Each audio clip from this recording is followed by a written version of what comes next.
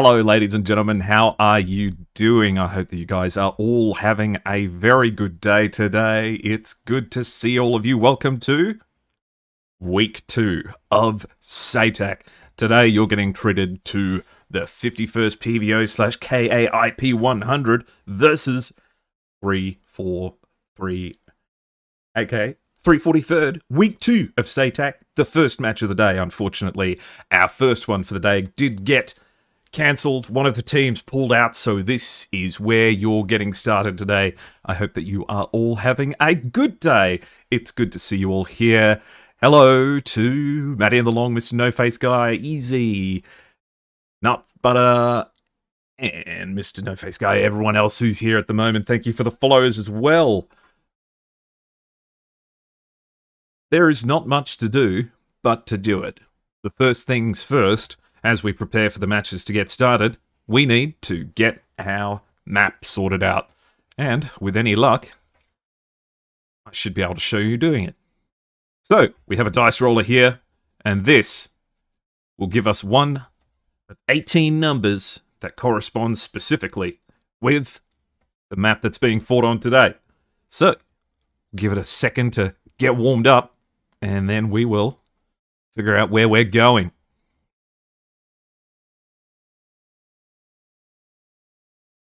Fourteen, which corresponds with Kamiman Bashar al-Assad versus King Hussein Air College. We are going to the Middle East. Number 14 means early morning light clouds. So, that'll be our weather for today and our map. Once we get everything set up, we can start working towards where the combat's going to be happening. So, how have you guys been doing? Did you enjoy week one of SATAC? Did you watch any of the VODs that you guys missed, or did you catch up with anything later on?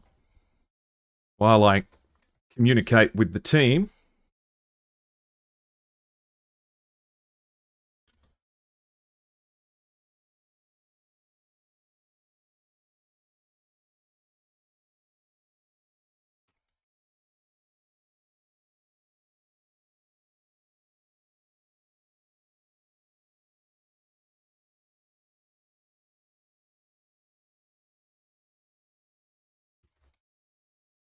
letting them know which map they're on today.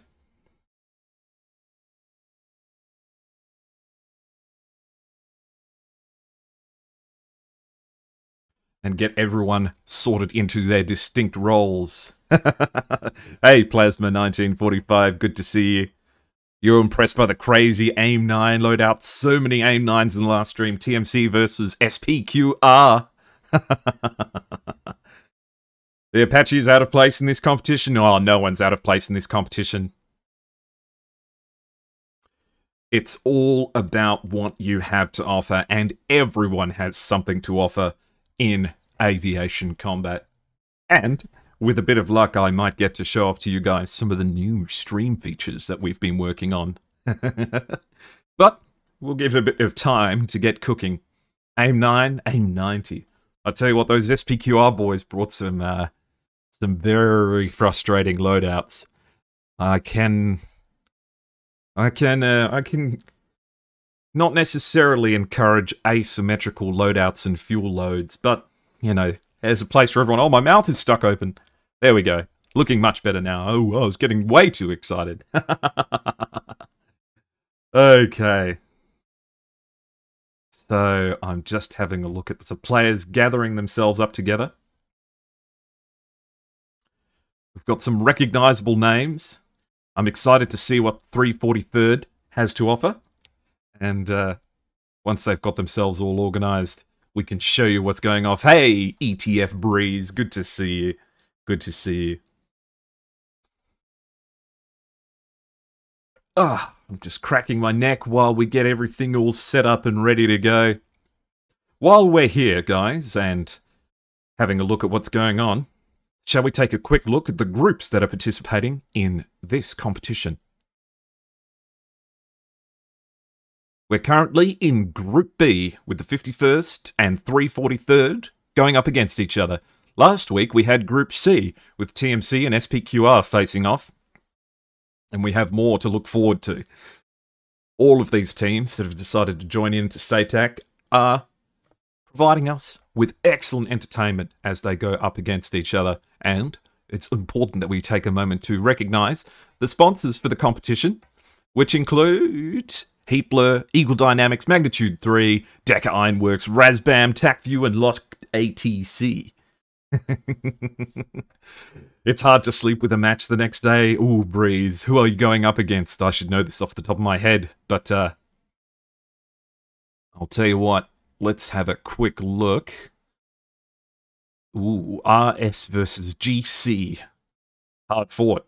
And in fact, we've got ETF versus Alamo at 1600, 1800 Zulu time. Following this match, with any luck, we'll raid you right into that to keep all of the combat going.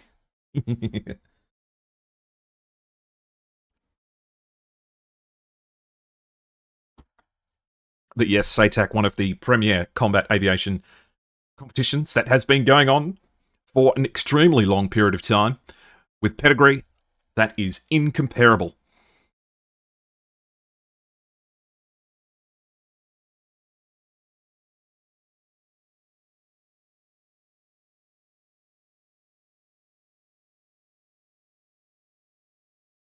All right, looks like 343rd does not have access to Syria at this time. So we're going to re-roll between 1 to 12. Let me just get the dice roll set up and we'll redo it. All right, guys, let's have a look at the dice roll as it spins here. We have got to pick the map that everyone's got. And... Four. Four is Tbilisi versus Sukhumi on a clear winter's day. There is not going to be a cloud in the sky. That is an exciting matchup. Winter and clear. We're going to have clear skies, which means that with our 51st boys, who undoubtedly are going to be bringing along their... who are undoubtedly going to be bringing along their, um...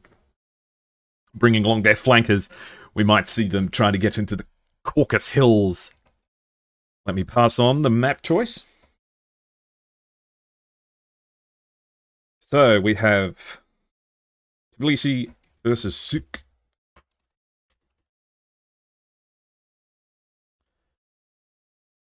Tbilisi versus Sukhumi. Clear winter's day. Oh my goodness, I can barely contain my excitement. What a fantastic map to get stuck into. Now, I just have to make sure that as uh, everything refreshes here, my uh, TacView keeps up with it. And we've got the game loading in now. This is definitely an aeroplane. yes, angry for a second because I accidentally pressed my number keys as I was typing in the buttons. Okay. How are we looking? Are we still live tracking everything? It looks like we are. Hey, you guys want to see something cool? Let's check that everything's all working.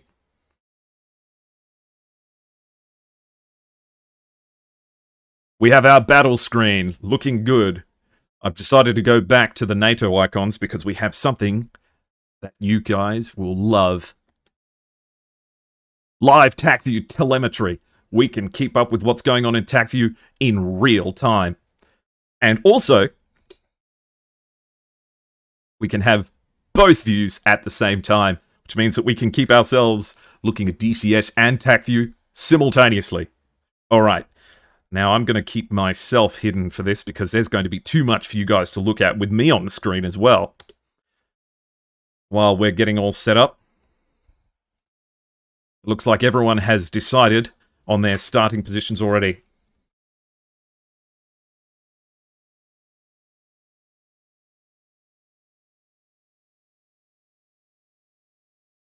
I'm already recognizing some of the names that we have.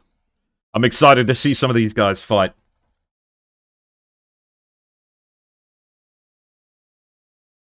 Especially on a winter map like this. It's going to be fantastic. Oh, oh, Lemon Wire, come on. You want to look at me? You'll get plenty of a chance. Don't you worry.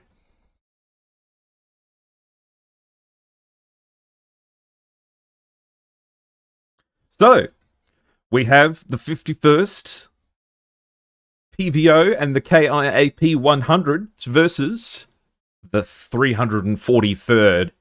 I mean, the names give it away. The 343rd is predominantly a Japanese organization, but has a number of different members and is going to be bringing a slew of different aircraft. However, the 51st PVO and the KIAP 100 are very much associated with your Su 27s, J 11s, and Su 33s with gorgeous looking liveries to go with it.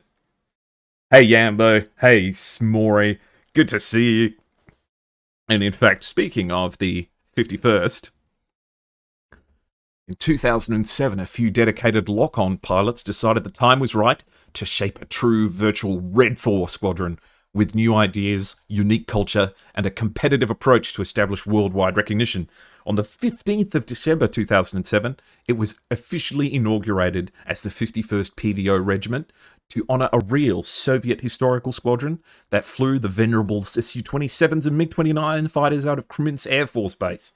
It's one of the oldest squads in DCS, with over a decade of complete domination in competition and community events.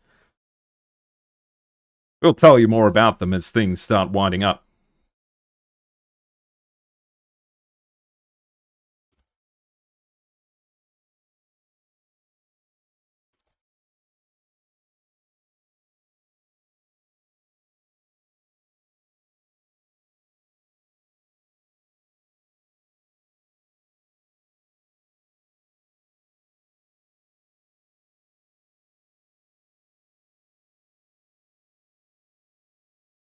Oh, it's a real pleasure to have the 51st guys coming in here and joining in on the chat.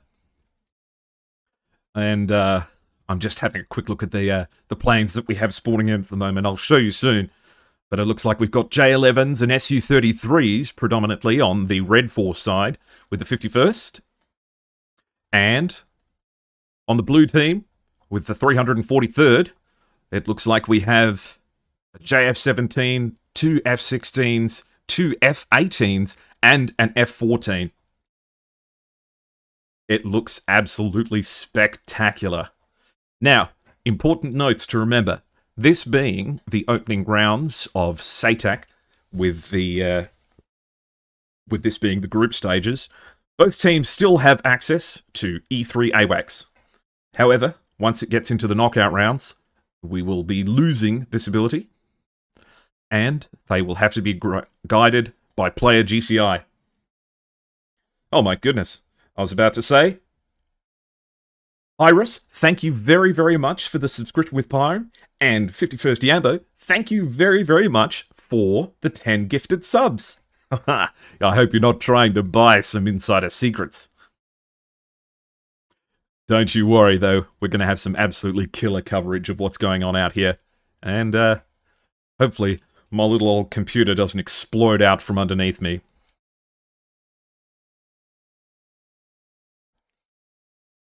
I'm not saying that I'm going to allow myself to be bought and paid for, to be given favourable coverage to either team, but it can't hurt. Yambo, naughty, naughty. Oh, look, if you got a sub from Yambo, please say thank you. Okie dokie. I'm just enamored with all of the cool tools they've given me to play with. In Soviet Union, the bribe is the key. True, true, true.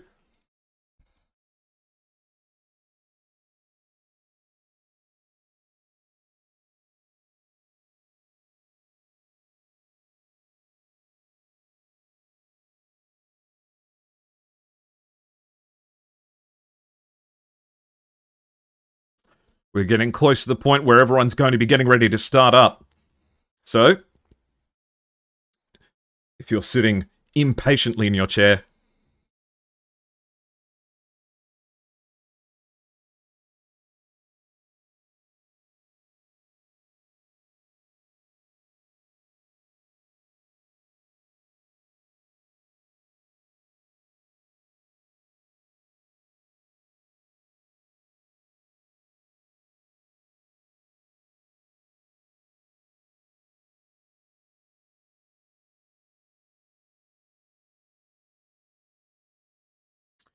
Have a good fight and hope you guys enjoy the show. Well, I hope you enjoy it likewise.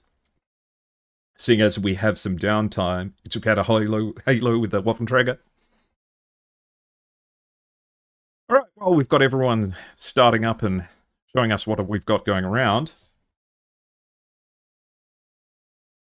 Any bets on what's going to be happening? Do you guys know these teams? We've got some members of the 51st here, and I know some of the people in the 343rd. And they are all supremely good flyers. And I accidentally picked up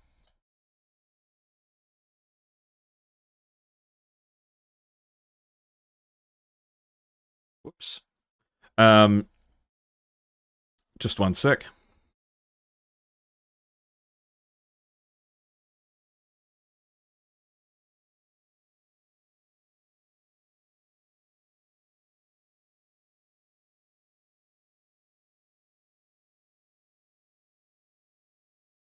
51st flies head on and fires Fox 1's 343, flies 90 degrees and notches. It will be a perpendicular flight.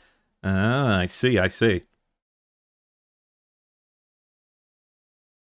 There we go. I fixed what I just broke.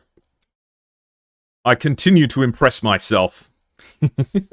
Let's uh, switch over to this screen, make sure everything's looking good and working as expected. You're excited to see 51st choice of entry into the arena. You've seen some seriously tight formations of past. So seeing how they deploy into their game plan should be interesting. Oh, yeah? Well, they're showing up with absolutely gorgeous skins. Let's uh, get the sound of the jets roaring in our ears.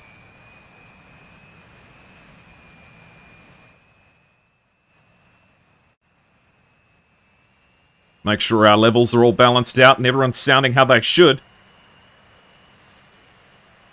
Here we have the Su-33s making their way over to the taxiway. ECM pods equipped.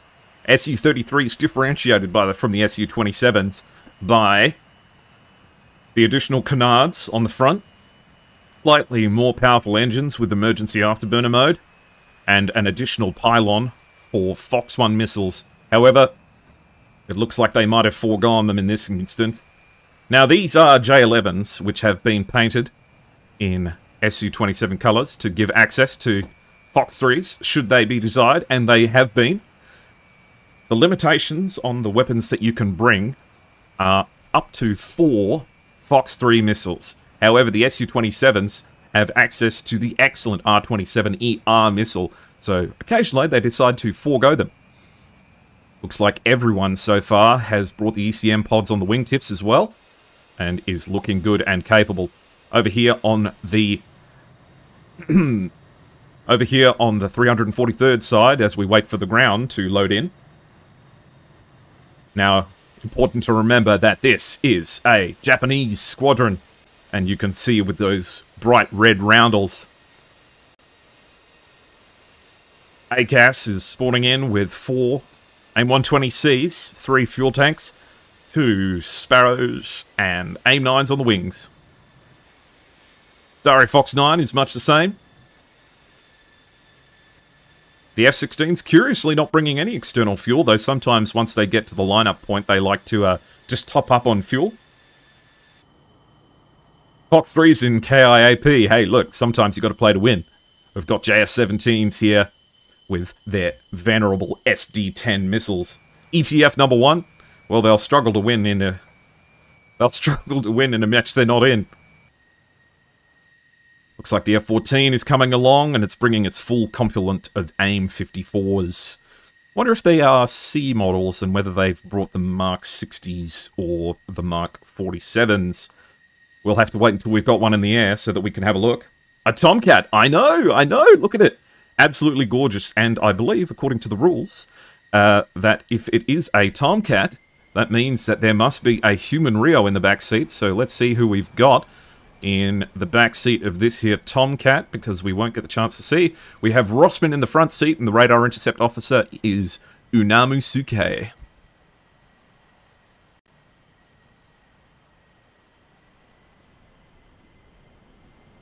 Yes, the Tomcat has brought four Phoenixes it does uh, have to abide by the limitation of three Fox 3s, which means radar guided missiles. Okay. Everything's looking relatively smooth here. I have a lot of stuff open all at the same time, so uh, we'll just have to be a little bit tempered with how we use TacView and everything all at the same time, but I think it's looking good.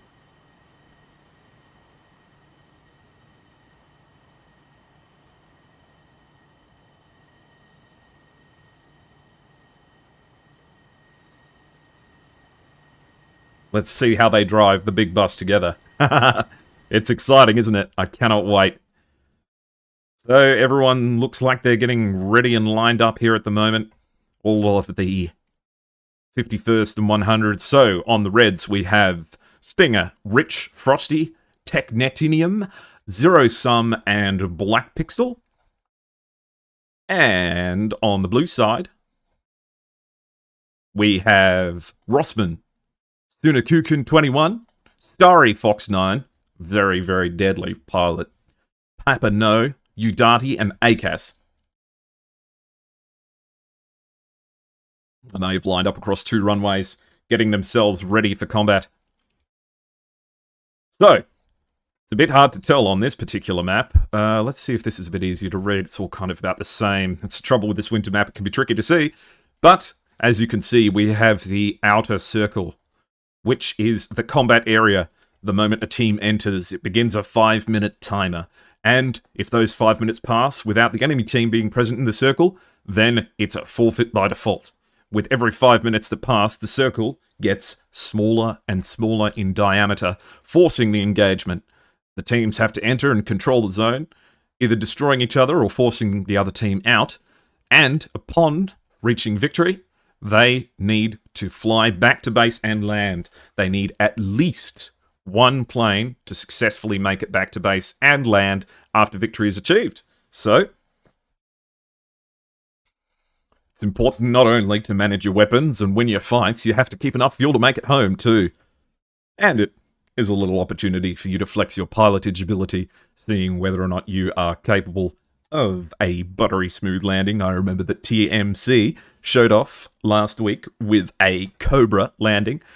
I think we'll have to see if 151st will get their victory and secure it by a Cobra landing.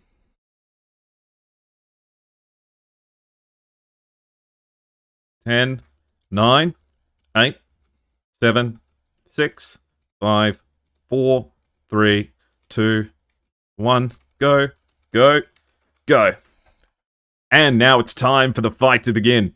Both teams will be starting off as everything gets moving.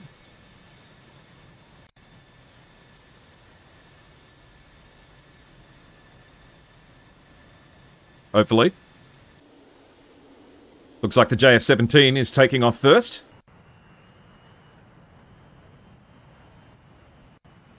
Meanwhile, the Su-33s and Su-27s are rolling down the runway all at once. I wonder why the 343rd are letting the JF-17 go first, but we'll give it a, uh, a bit of time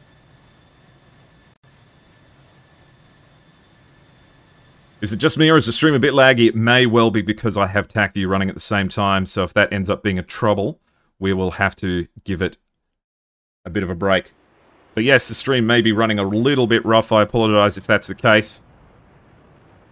We've got everyone taking off here at the moment. Let's see how this looks.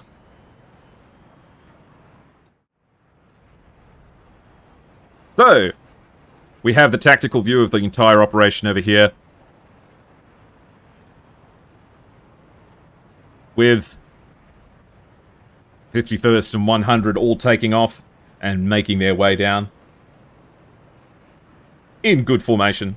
It looked like the JF-17 has an ECM pod. Perhaps they are confusing the 51st radars while having the Jeff well out front. You know what? I would say that that sounds very likely. And let's see how the rest of the boys over here are going. Definitely being spearheaded by the JF-17. It'll be curious to see what he gets up to. Then he's definitely climbing up at a rate of knots. So, we'll see how things progress. This is the combat area.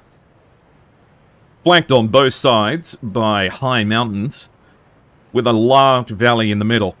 For planes that accelerate well and perform nicely in amongst the mountains, particularly the Su-33s and Su-27s, with their excellent close combat dogfighting modes, they will be able to take good advantage of the mountainous areas. Meanwhile, the Blues, arguably in the vehicles that have better Fox 3 capability, will be strongly desiring to spend their time in the Central Valley, where that best range of their missiles can be taken advantage of.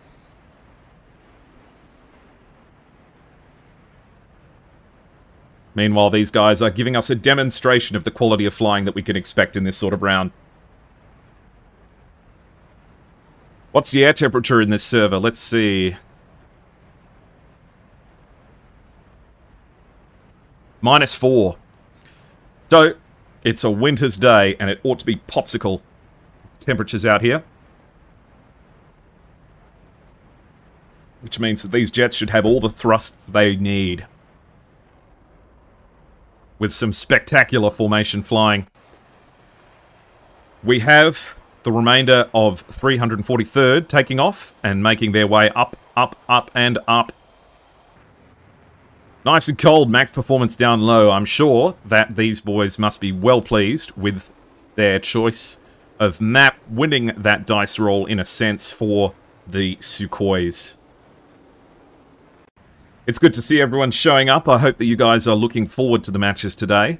And of course, if you're noticing any technical difficulties, please let me know. I'll fix them as best I can, but if you are patient with me, then I will give you the best experience that you can. Meanwhile, absolutely gorgeous flying here from the 51st and 100s. I mean, it's still laggy. Golly, that's a bit unfortunate. Why can't you fly this well? Oh, a little bit of sledging. A little bit of sledging.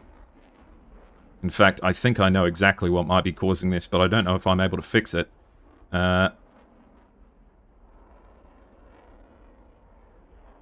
we'll give it a bit more oomph.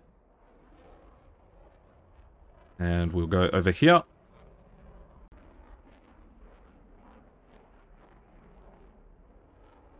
And this should help recover things a little bit while I just refresh some of the connections. I'm aware that things might be stuttering just a little bit here.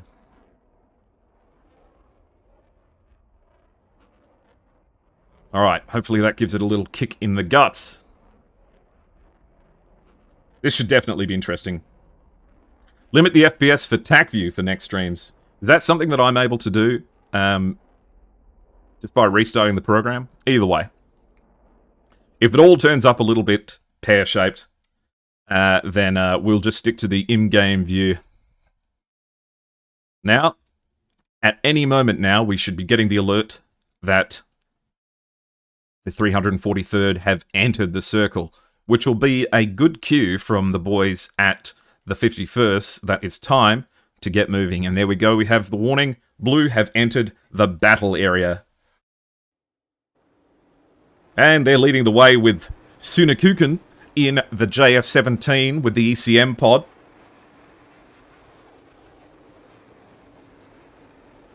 Acting like a great big noisemaker up there in the sky. Making sure that he's got everyone's attention. You can see the contrails of his friends up there in the sky behind them. Hiding behind that ECM emission. Meanwhile, it looks like 51st and 100 have realized that they need to get into the circle. So they've started to make their way over to the combat area. And oh my god, they are staying in formation in a turn. That's so cool. These guys are pros, and they love this airframe.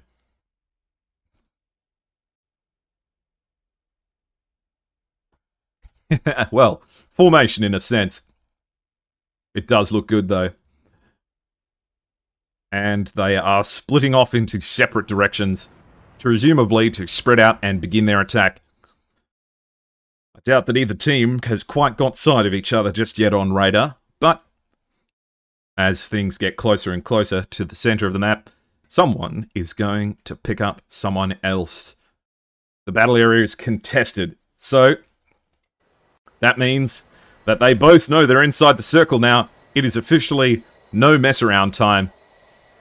Here we have Papa No, joined by his wingman on the right flank, following behind the JF-17 with the ECM pod, hoping to have their radar signatures hidden.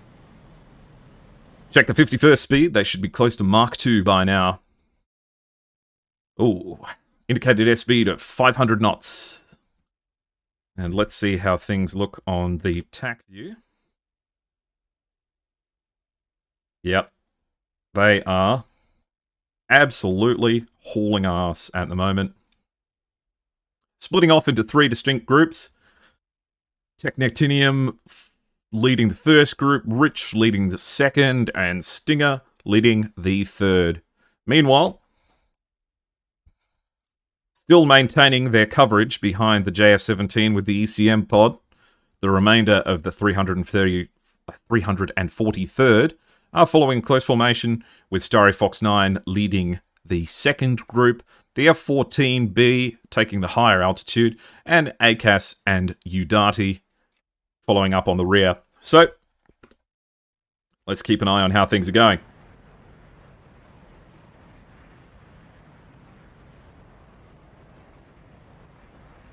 Things look a little bit smoother on my end, but keep me posted with how it looks. They've brought the F-14, I know, I know. And in fact, that F-14 radar can probably pick them up already at this range, so they ought to be getting good data. However, the 51st guys have all brought ECM pods, so whether or not the org can burn through that radar at, at that ECM at this range, uh, it will be interesting to see. Either way, Phoenixes are deadly at these high altitudes, but if you know what to look for, you can evade them. I reckon they'll be holding on to them until they get a little bit closer, even though... What ranges are we talking here at the moment? We are currently at a separation of 45 nautical miles, which is detection range for everyone, I think. They're getting involved. 20, 26 nautical miles to burn through. Alright, so the ECM's still banging away. I doubt that they quite know what altitude and distance these 51st boys are at, but they are absolutely hauling, hauling, hauling, hauling. And we have our first missile out, an R-73 ER out from Rich, which has taken off from his plane. Looks like it's heading straight for Sunekuken. It's got the speed, it's got the range, Does he even know? Sunekuken looks like he's not going defensive too aggressively. Seems comfortable. However, this missile still has speed. Maybe not be quite so blasé about the dodge. We have a missile launched from Sunekuken. We'll just see whether or not this are... Oh my goodness. That's why you've got to dodge the first death for the 143rd, we have R27 ERs launched from Techneticum and Stinger, and in return, Sunekukum's SD-10 is flying towards Techneticum. We have a AIM-120C out towards Stinger. Has this SD-10 got the range, and does it even have track? Nope, it's gone dumb.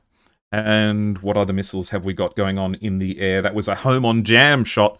Let's see how we are looking on the TacView here at the moment. We have the first of the Phoenixes out already, which looks like it's making its way in amongst the hostile forces. No losses thus far for the 51st, who are maintaining quite an altitude and separation dominance. Another AIM-54C going high, lofting deftly towards the 51st. So, let's get back to the battle and watch this happen live. It'll be interesting to see whether or not this Phoenix can make the difference, but it looks like it's running out of speed and has no good track on anyone. We have an R27ER launched against Rossman, and in exchange, there is an AIM-54C going in that general direction too. Rossman will have to be careful here. These missiles can keep up with him, but they are flying away at a rate of knots. That missile has no energy left to follow them up. Meanwhile, we have a Phoenix with speed, but does it have track? It looks like the 51st have seen it, and they are going low. The Phoenixes are a big chunky missile, which means they are quite susceptible to feeling the influence of drag. The other AIM-54 is completely out of speed, while an R-27ER launched towards ACAS with good speed is progressing towards the low altitude. Now we have two more R27ER launches and an R73 launch. This R27ER is going up against the F14, who needs to be a little bit more evasive than that. Have you got enough speed? And it's gone for the countermeasures. What about the ER against Papa? No. Doesn't have the speed to convert that into a kill.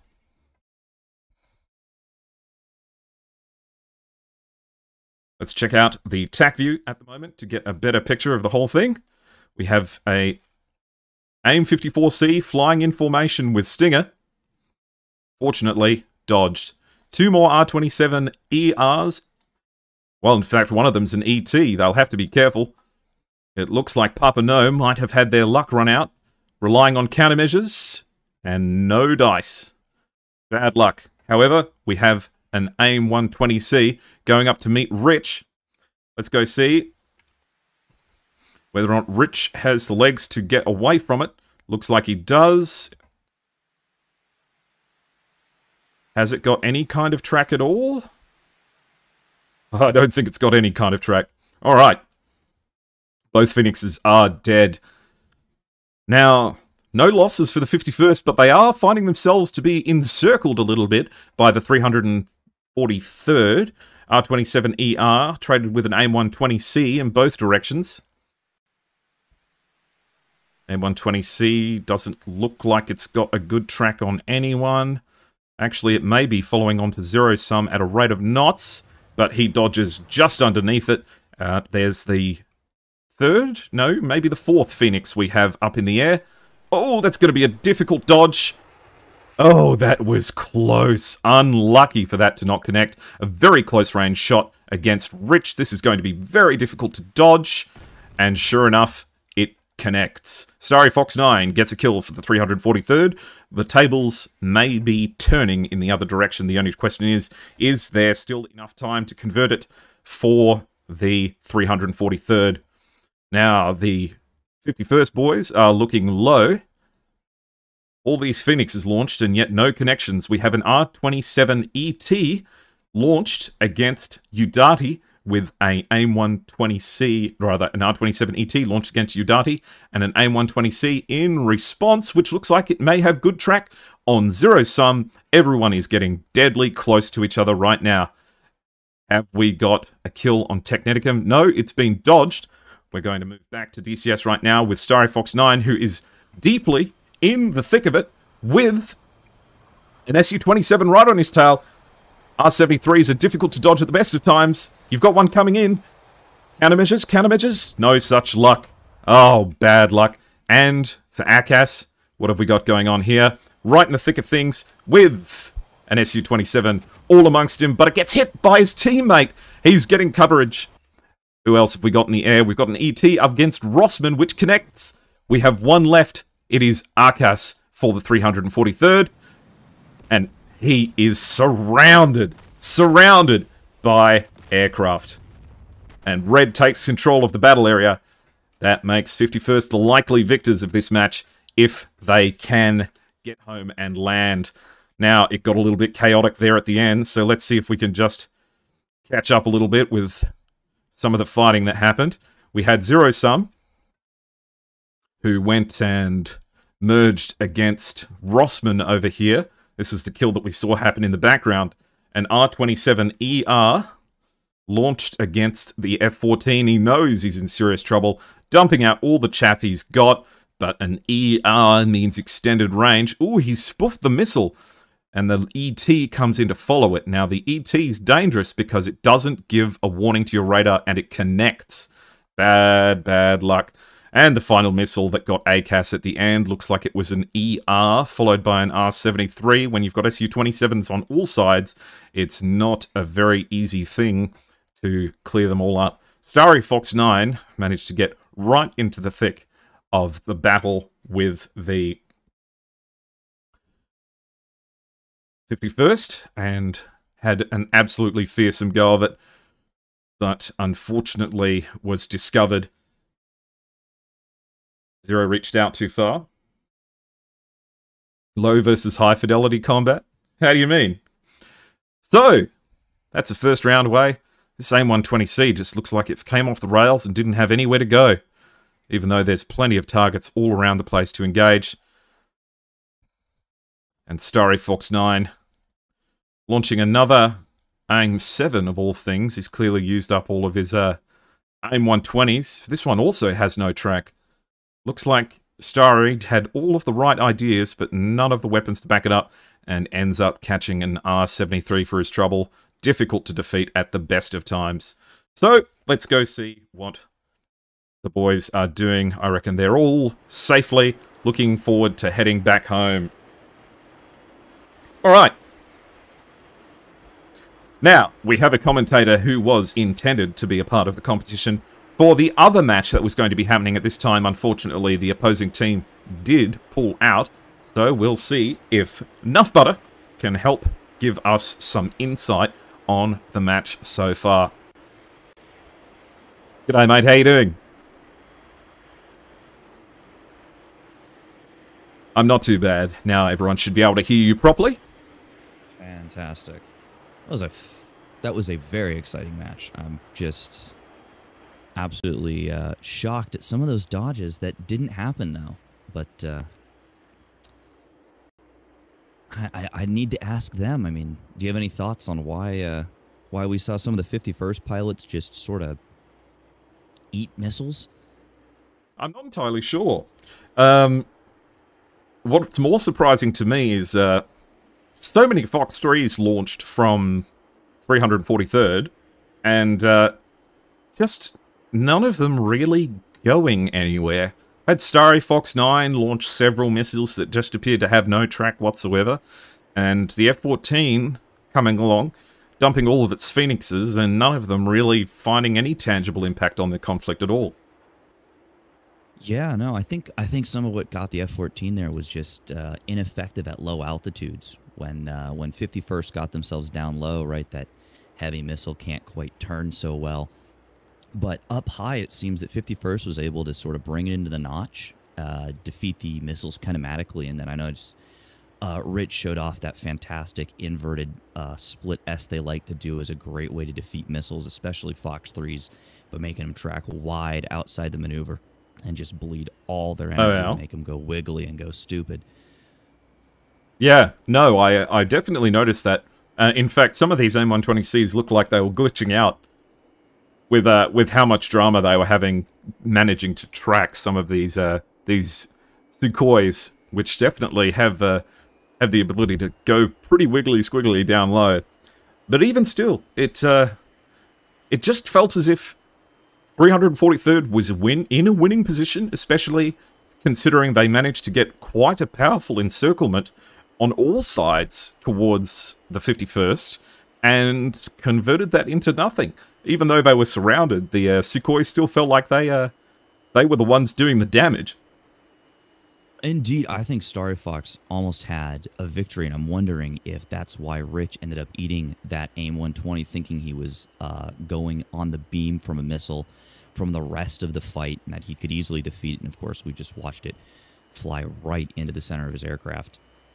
I'm thinking maybe he had no idea Starry Fox was there. Starry Fox so low that the E3 was unable to pick him up and put him on the data link, which, thinking about it again, these Sukhois don't have a data link, do they? Uh, they do. They do, but it's not they as uh, it's not as comprehensive as the uh, the data link within the um, within the Western aircraft. It's just a basic series of triangles that uh, that lets you see uh, where the location of hostile and friendly forces are, but it takes a little while to refresh, and it's not quite as comprehensive as uh, as the Western ones do. Interesting. Well, then maybe maybe that's what got Rich killed there, thinking he had defended a missile from the wrong target. But uh, it was it really did look like, as you said, that uh, 343 nearly came around and, and encircled the Sukhois. You know, did lose a couple of their pilots doing it, but found themselves in a very strong position. And 51st was able to fight their way out of it. Yeah, I'm just having a look at Rich's final moments here. And it definitely seems as if uh, no one knew that Starry was down there. I reckon that uh, he was picked up by uh, by Zero Sum pretty much by pure chance. I don't think anyone knew he was there. And uh, if he was loud, because I know I've known Starry Fox 9, I've flown against them before and got absolutely demolished, so uh, I know that they are a good enough pilot to absolutely massacre uh, people if they get into the wrong situation. So I feel like um, if he had been left to, to uh, yeah, to get away with it, in fact, you're exactly right. I don't think they had a clue that Starry was down there, and when that missile showed up, and Rich started getting warnings about it, it was already too late. Yeah, In fact, indeed. Yambo is pointing out quite rightly that uh, I think that might be a, a blind spot for the SPO uh, radar warning receiver. Now, if you are conscious enough to attack an aircraft specifically from the blind spot of its radar warning receiver, I think that demonstrates just the quality of pilot that we are interacting with here. But uh, these guys are some of the best. Indeed. Certainly, we saw 51st uh, enjoy showing off their formation flying skills at the start, but uh, I don't think either team here has got any slouches in them. Um, No. No, not at all. 51st just has a bit more, bit more experience working together, maybe, to get them up to this level of uh, this level of skill. But I think that it's still a very even match between 51st and 433rd. not only a very even match, but also demonstrates that there's no clear winners when it comes to the differences between Eastern and Western aircraft within DCS at the moment, especially with the limitations placed by SATAC. Uh, it feels like everyone's got a fighting chance, and one of the things that this competition has definitely taught me is the effectiveness of uh, the Su-27s, Fox 1s, the R-27 ERs, which I feel like a lot of people write off seeing as their, their uh, semi-active radar homing. Uh, they write them off a little bit as as kind of being garbage missiles when you've got Fox threes in the games, but I think it's been shown several times here that uh, they've got legs on them, and even if they need to be guided by the radar, if you know how to use it, they'll kill. They really do. I- think a lot of that might come from people's experience fighting the uh, the DCS AI, you know, and that Fox ones are very easy to deal with there because, of course, once the Fox three goes active, the AI immediately turns away and loses track. But I would suspect that 51st is waiting a little bit longer to get their missiles in there, especially considering how high and fast they were with their initial missile launches, that they could anticipate the return Fox 3s from 434th and that's not 434th, it's 343rd. Uh, they could anticipate those Fox 3s, get their missiles in as close as possible before having to turn offensive, you know, going into their notches and really playing the game laterally as they move forward, running their ball down center, so to speak, uh, to get the most out of those extra range and you know, decent maneuverability missiles. ST Mori saying in chat that the R has great speed. If you launch it high and fast, it'll hit Mach 5.5 on the way, which I think actually is crossing the threshold of being considered hypersonic. That is a fast, fast missile, and no matter how much ripping it. chaff and, and flare you dump into the air while you're going through it, uh, you'll struggle to get away from that.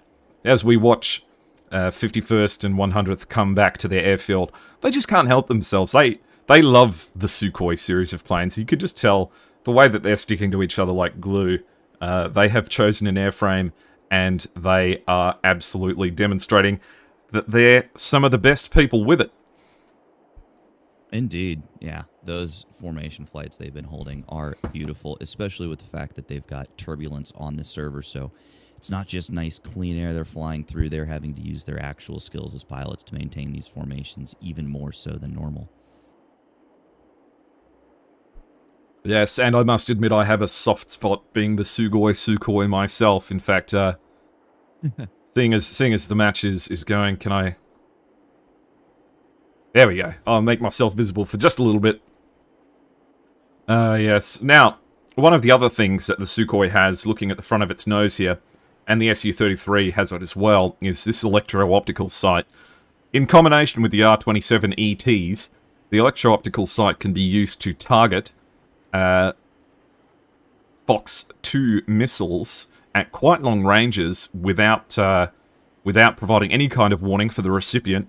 And I think that they absolutely managed a coup by scoring a clear winter's day on this map. It couldn't suit them better.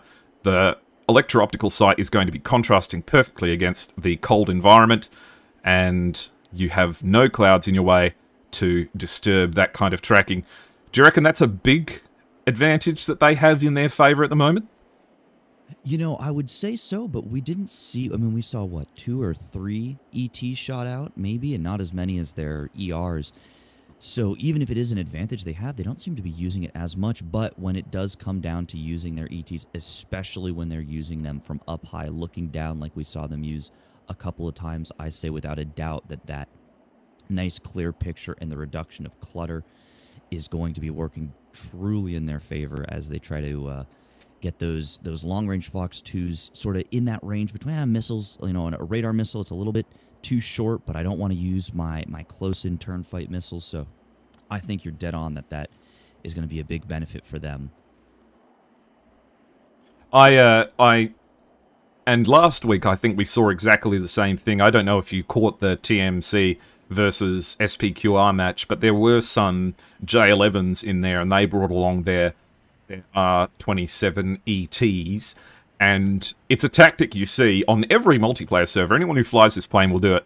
They uh, they will launch an ER, and then immediately afterwards they'll launch an ET behind it, and you get all lights and sirens with the ER missile, and then they'll uh, have no hope of that missile connecting but uh, they'll count on the uh, the other pilot not necessarily knowing that there's an ET following it. And the F-14, I think, got caught by exactly that. Had an ER coming towards it, a Fox 1, and uh, it defeated that missile, and its RWR would have gone quiet, and there was an ET just behind it, and it came and cleaned it up right at the last second, and there were no flares or chaff or command measures going out. I don't think he had a clue that that missile was there. Uh, indeed, it's a it's it's a common tactic, but you know, something done commonly, it might it might be a good one. You know, I think people found that they like that way to try and sneak the missile in there, especially knowing how much players in DCS rely on their RWRs to determine whether or not it's safe for them to turn back in. And in a situation like this where 343rd is already down two players, they're trying to be extra aggressive to make up for that loss. Uh, I would suspect that you know, the moment they could turn back in to be aggressive, they would try to do that, and maybe that is working against them a little bit as they uh, as they you know found themselves running right into that ET. And even later in the match, we saw um, uh, R73s being followed uh, quite quickly after to try and once again, you know, either guarantee that kill or get something hidden in there that they end up not trying to maneuver defeat uh, to get another kill for 51st, but uh, it wasn't needed as the first missile flew true right into the center of that remaining aircraft. No, you're exactly right. What do you think that 343rd needs to do differently in the next match to make sure that they uh, they get the connections they need? You know, I think the biggest thing they need is speed. Uh, it was pointed out quite early on that 51st was in hot, you know, near 1.6 Mach, and uh, on the other hand, 343 was coming in around 0.8 Mach, and extra Mach really gets these missiles hard. Of course, everybody knows that traditional graph showing drag on an object related to Mach and getting up to that Mach 1.0 point and beyond it really reduces the amount of drag on that initial burn of that motor, which can get a lot of extra range and energy into these missiles. And I think that might be why we saw their Fox 3s going a little bit stupid. They were a bit lower. They didn't have the altitude advantage, and they were quite a bit slower. So their missiles had to work extra hard to even get into the playing field with 51st. But in order to do that, it used up a lot of their energy. It means they didn't have quite as much to maneuver with 51st, which allowed them to sort of easily defeat a lot of their early launches. But I would need to see the the TWS. I think maybe too much reliance on TWS here as well. That uh, 51st was able to fly their tight formations and show up as one blip for a little while, possibly, especially if uh, 343rd wasn't expecting to see them so tight, uh, maybe confusing the radar uh, and the radar operator for the 14. So I, I would like to see a little bit more RWS to force the 51st guys to react to those missiles a bit earlier than they are now because I think right now they're just playing that timing game, estimating distance to target, going, okay, well, we're within 30 miles. They probably launched. I've probably got, what, another 10, 15 seconds before I need to start worrying about their missile returning on me so I can keep guiding this in in my crank. And now I've got to go into the beam defensive. Uh, but maybe trying to use some RWS to really confuse these guys into thinking that a missile is a lot closer than it is. No, I think you're exactly right. And with all three of the surviving members of 151st touching down, that means our first round goes to the Reds. They'll be switching sides and uh, going at it. In every match of SATAC that I have seen and commentated so far, there's one consistent theme throughout it all. The more aggressive team wins. And I think that 343rd lost momentum a little bit and were playing a little bit reactionary compared to. Oh, up we go. Uh, we're playing a little bit reactionary compared to their uh, their friends on the opposite team, and it did not necessarily pay off for them. So we'll see what happens in the next round to come. Indeed. I, I think maybe losing the Jeff early was what threw them off their game and allowed 51st to maintain that aggression and you know to jump back to some of the fights of last week we saw the last time we saw these Russian jets out in the hands of TMC their initial match they seemed very passive hanging out over their mountains towards the north of their arena and which allowed the SPQR opponents after a little bit of deciding do we want to do we not want to to be aggressives to be the ones to push into their field and ended up resulting in the SPQR win of course for that match and once again, we saw the same thing here. It seems aggressive uh, behavior, you know, tempered aggression, but aggressive behavior nonetheless is what wins these matches. And uh, being able to react dynamically to your plans being thrown off, you know, losing that first aircraft early, hoping that maybe they could get the jammer to do a little bit more for them and finding it to be lost quite at the start might have thrown uh, 343 completely off their game. So it would be interesting to see what they'd change up now to respond to that change and that loss early. Maybe they're going to be flying as a formation, or maybe they're going to try the same thing again and hope it works this time. I, I I'd like to see a change up personally, but what do you think? I must admit, in fact, until you said it, I had completely forgotten that there was a Jeff in this match. Uh, it, it got bushwhacked so early on in the conflict that uh, that I almost I got lost in the excitement, and I think I forgot that it was there at all. So, um, yeah, no, definitely whatever they were doing with the Jeff there uh, did not convert into into any kind of value for them, and it was just lost. It just kind of disappeared for them.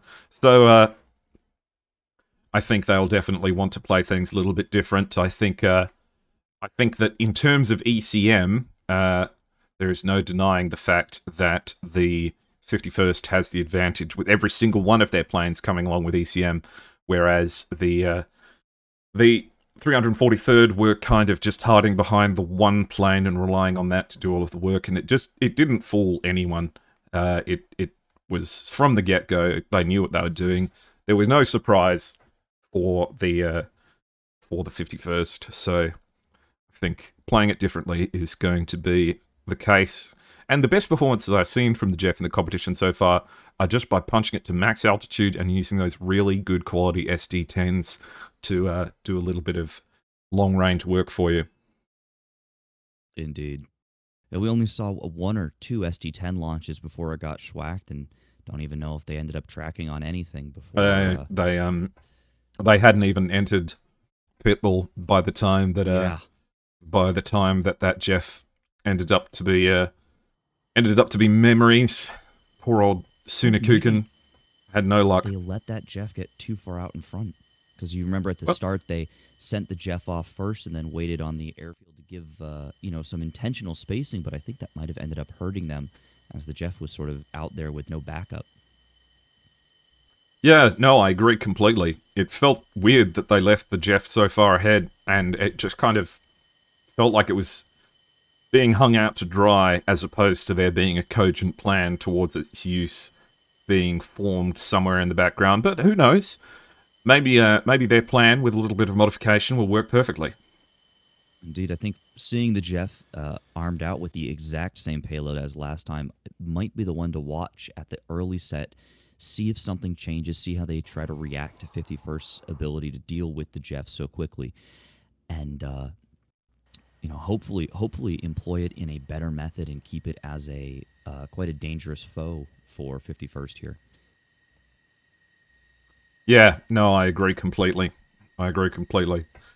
The uh, the Jeff and the F-14 will be the two airframes that will need to demonstrate value here, and they will need to do it quite uh, quite enthusiastically. I think the F-18s and the F-16s are holding their own. I mean, jack of all trades aircraft that are never a bad idea to bring along.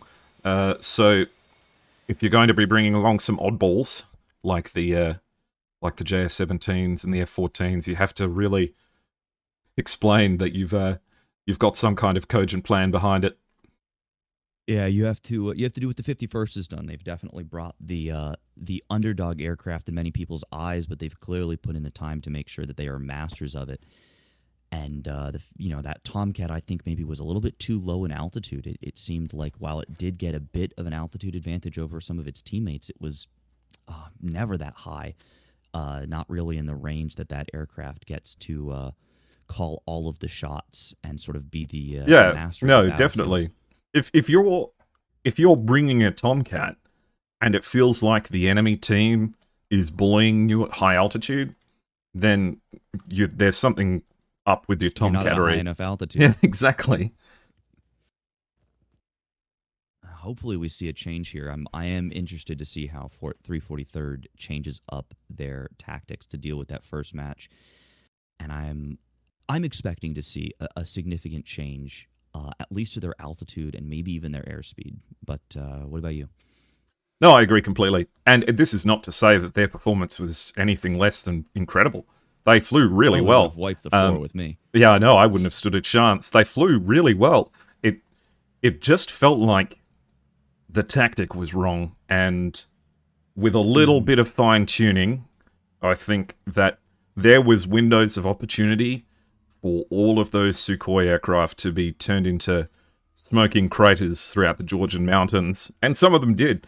We saw exactly what they needed to take advantage of, which is firing those missiles into those great big planes when they stray a little bit too high and they don't have quite enough situational awareness. And uh, Yeah. all it takes is a few seconds. You know, I'm thinking about this more and more, and I'm wondering if they're trying to attempt, you know, with the mud hen on the corner. I've been hearing a lot of talk about how the F-15E is going to be used in some of these PvP conflicts. And one thing I've heard multiple times, and I'm sure you've heard it as well, is the use of the Wizzo as a sort of infield shot caller somebody Mm. who's focusing almost exclusively on their situational awareness page and telling people what to do. And I'm starting to wonder if they might have used the RIO in the F 14 in a bit of a similar manner. Uh, and that was how they were able to get Starry Fox to get around the fight so well because you did see fantastic positioning at a 343rd. And course, having, uh, if I'm not mistaken, the first appearance of a multi crew aircraft this year, or was there one last week? And I I don't think it? there was one last week. I think I think this was the first appearance of the multi-role air or the multi-crew aircraft. I wonder if they're making uh, use of the fact that, of course, the 14 gets its own data link, and trying to use that to employ players in their best position. And if if 343rd this flight around gets another fantastic position where they've boxed in 51st, I would almost say that that's a guarantee that that might have been what they were doing. Yeah, it's an interesting idea. And and truth be told, I I'm not uh, enough of an expert to say. Oh, neither am I. If we were, we'd be flying rather than commenting, wouldn't we? Well, that's the thing, isn't it? Those uh, those who can do and those who can't teach. Indeed. All right, I think we've got everyone queuing up here at the moment, and uh, I might start covering this battle. I will catch you again once this one's over. Fantastic. I Thank you very much. A good fight.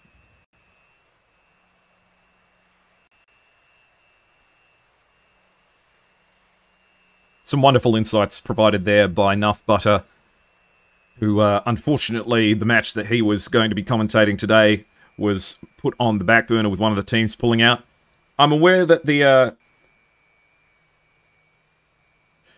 I'm aware that the stream is a little bit laggy, and uh, I am doing everything I can in the in the foreground to try and fix that.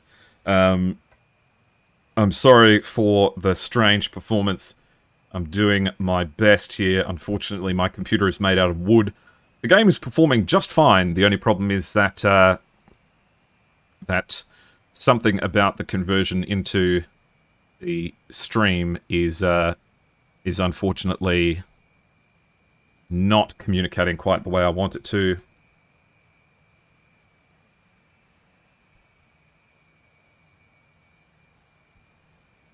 It's not unwatchable. Well, if it's not unwatchable, then that's as good as we can hope for at the moment. Wood computer, that's a fire hazard. I know, I know. So if you ever see the stream briefly go go like this, it's me just trying to recapture everything and make sure that the view is looking okay, probably not assisted by the fact that I'm attempting to do this, which is have uh, TacView and DCS open at the same time, which is probably causing my computer to burst into flames. So, with any luck, we will uh, survive this encounter, and uh, we will continue to find good solutions as things goes on. So,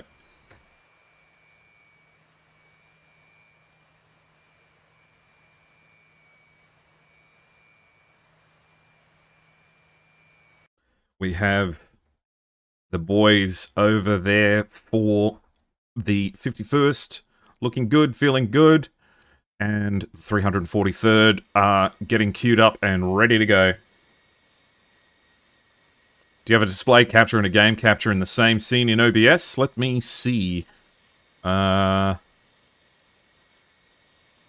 no, I don't.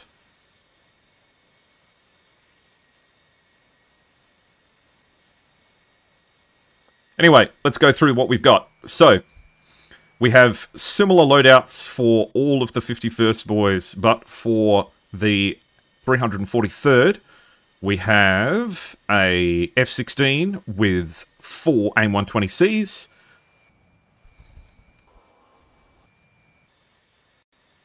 We have the F-14 with AIM-54s four times, two Sparrows, and two AIM-9s three fuel tanks on the F-16 with four AIM-120Cs and two AIM-9Ms. Four AIM-120Cs, three fuel tanks, two Sparrows, and two AIM-9Ms. Likewise, on the other F-14, uh, F-18s, the classic loadout for the F-14. I mean, yes, it's it's it's made for it. This will be the one to watch with the uh, with JF-17 Thunder and uh, we'll see if they can make some better use of this airframe as they chug along. There is no denying that it's a cool aeroplane. Okie dokie. What are we looking at here?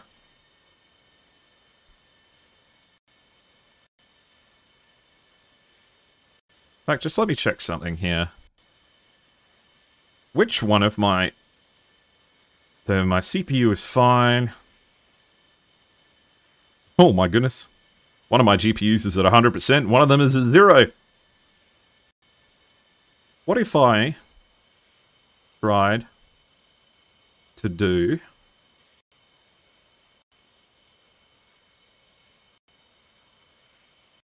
this? With any luck, that might fix it. 343rd.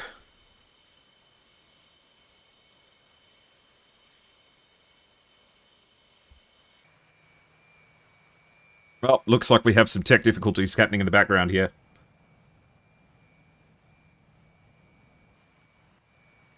I have a strange feeling that the server might be uh might be having a bit of a hiccup. GPU caught slacking, you're not wrong. Hopefully that actually fixes it. Um, let me see.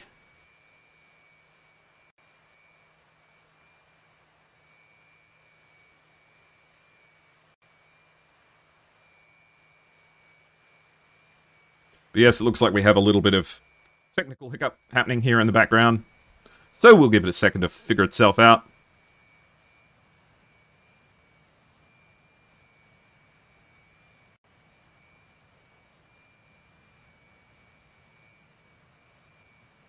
But the GPU's definitely been caught lacking, that's for sure.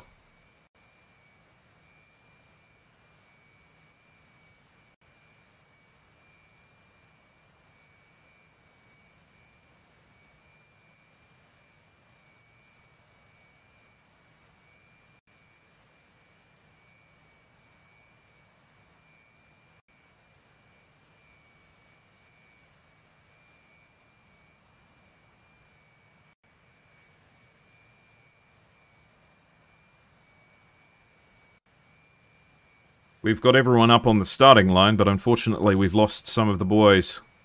So we'll have to give them a second. Just to get themselves worked up again.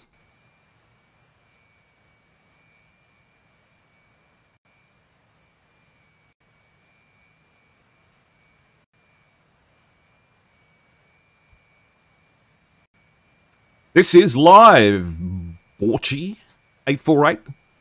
Just as if proof were needed. I'll say you say your name out loud. Uh, yes, this is as live as it gets. This is currently ongoing. You ordered a Big Mac and it's been one hour. You could have ran and gone get it. Live. Live crowd. Live crowd.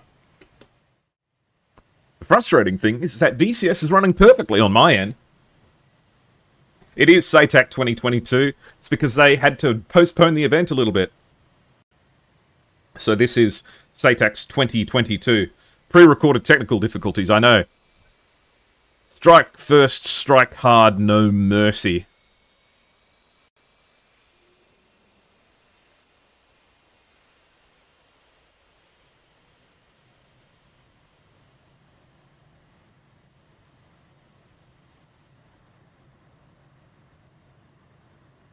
Well, that doesn't bode well.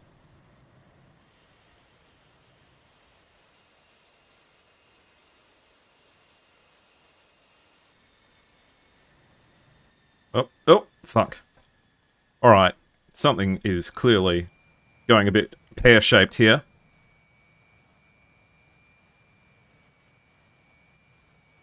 Yes, 51st uh, usually lags most on the ground. Yes, it does. But also, the game's not lagging. It's, uh, it's unfortunately, it's my stream. Something about OBS in the background is having a bit of a tough time with it. Um, which is just no good. But you're right, it does seem a little bit smoother if I'm a bit zoomed out, so goodness knows what's uh, what's causing all that.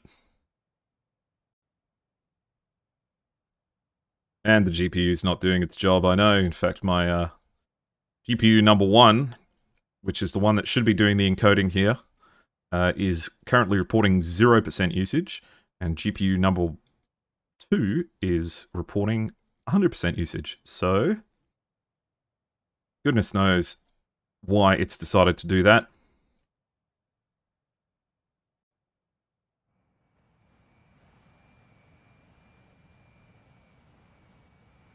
We'll get to a point here where these boys need to, uh, yeah, GPU 1 is on its, its union-mandated coffee break.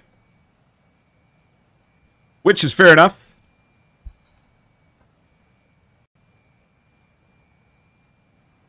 We love a union here.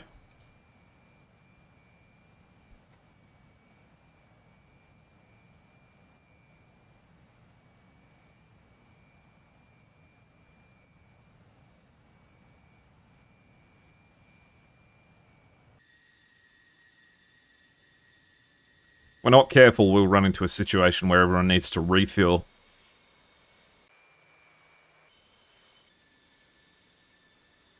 But it wouldn't be DCS with a little bit of scuff. Big buggers look haunted sometimes, that's for sure. Oh, look. We love the quirks. We love the quirks.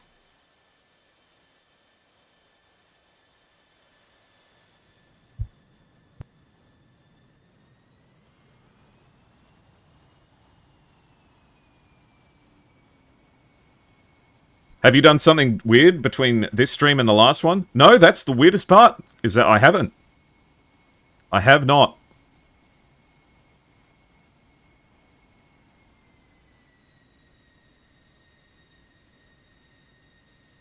Though that might have smoothed it up a little bit, in which case that explains what's wrong. Uh, it appears to have had been TacView. How do I limit the FPS in TacView? I know I shouldn't ask you this now, but we'll see how it goes.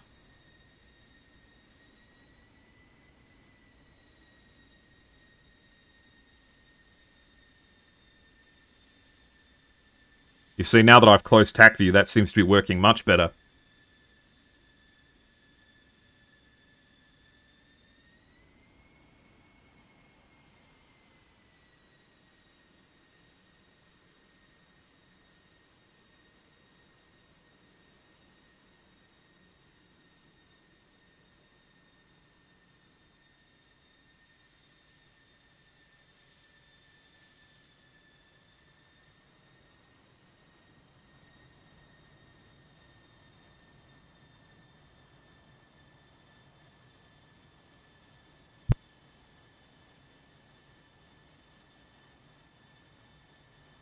Look at that beautiful bubble canopy. I always liked the yellow tint. Always had a good look about it. But yes, the JSDF skins. It's hard not to love them. Such a pleasing color palette. What more could you want? Okay.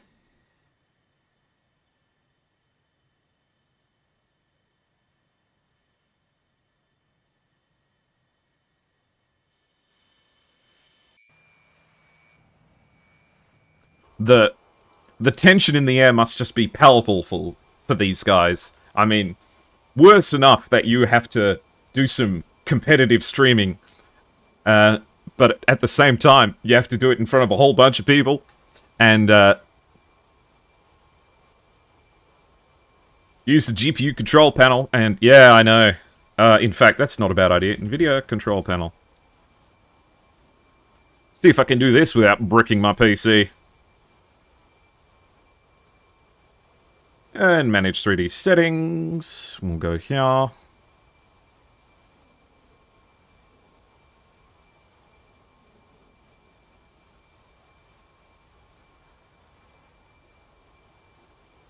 TacView. And vertical sync on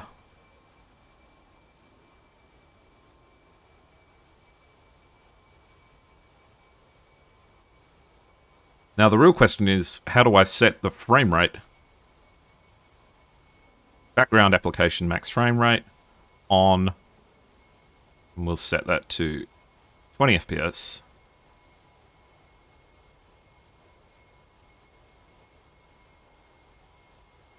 We'll get this to use this one. Goodness knows if that'll work, but it might.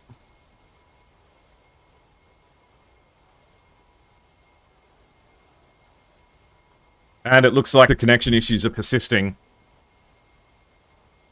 So we might have to be patient for a little bit here. It does look like it's running a little bit better just from uh, my monitor here. So maybe there's a there's a little bit of a a little bit of luck happening our way.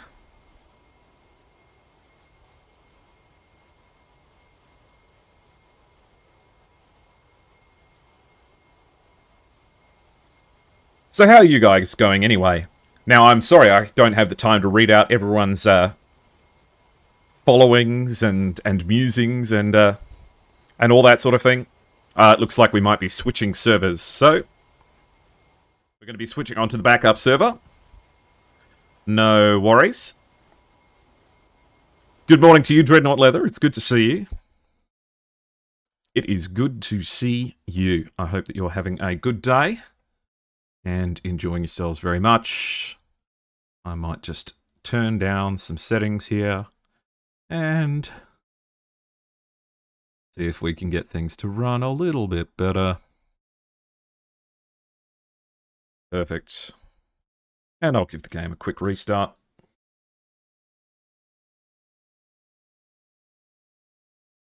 The sky is dangerous. Be safe. Oh, look. I'll do my best. Not as dangerous as leatherworking, that's for sure. uh, what am I looking for here? Switch on the music for a little bit while we're waiting for things to get moving.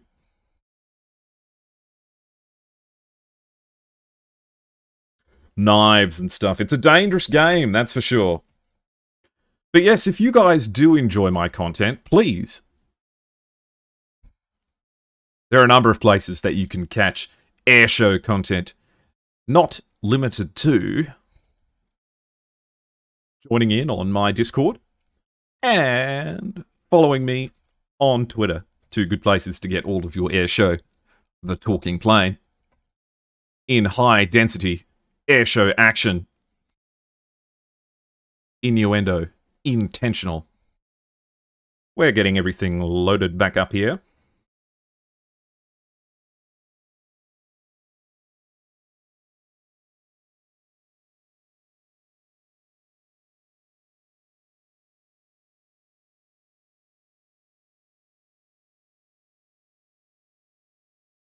While I get real-time telemetry connected up for the second server.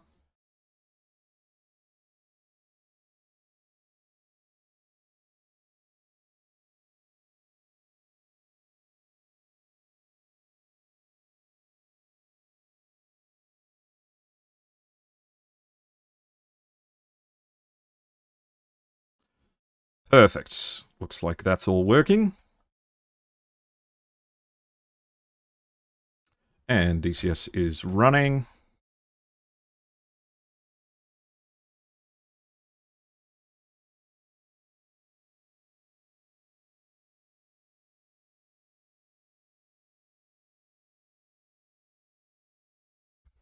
Perfect.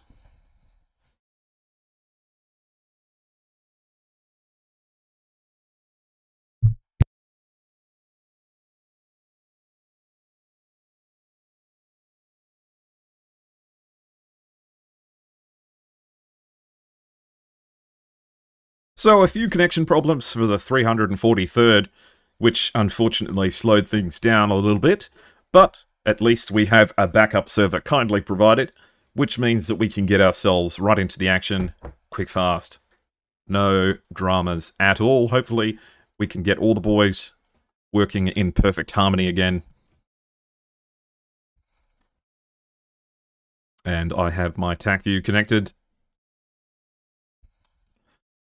And everyone is spawning and starting up. This also gives everyone a good opportunity to refuel and get themselves nice and fresh and happy looking.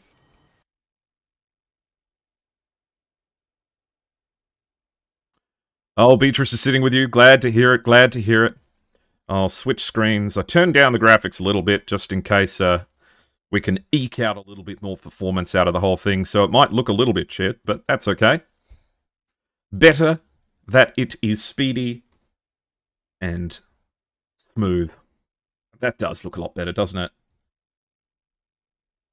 A fast backup must be an EBR? No kidding.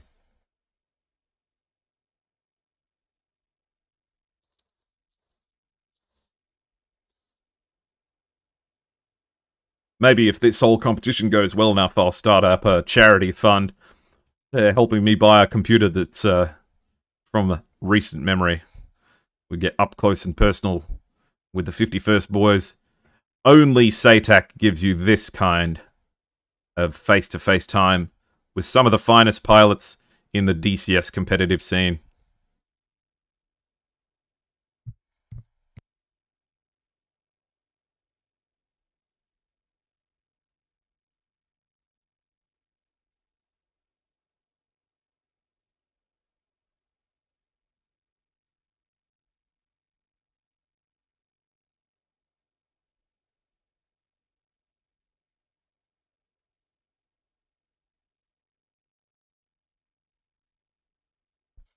Some fine pilots in there, 10, maybe 12 polygons of detail. What's good there's not 14 polygons.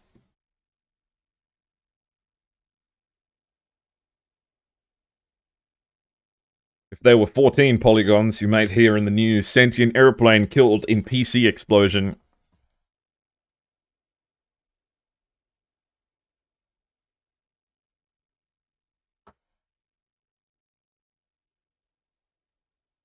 As the GTX 1080s that he literally found in a bin. And that's not a lie. The 1080s that I in my computer right now, of which there's two, I found in a bin. Uh, yes, uh, they will explode into deadly shrapnel and kill me instantly. Who's flying for 51st? Well, ask and you shall be told. Let's go see who we have for the 51st. We have... Technitinium, Zero Sum, Black Pixel, Frosty, Stinger, and Rich. Yeah, 1080 BI bin edition. The 343rd, we have Rossman, Papa No, Starry Fox 9, Suni Kukin, Udati, and VIP Boy. In our F-14, we have Rossman, and in the backseat for him, we have Unamu Suke.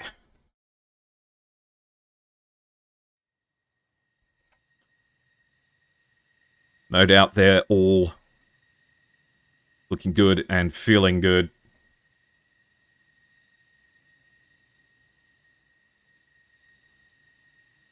It would be difficult to not be having a good time in a plane like that. So,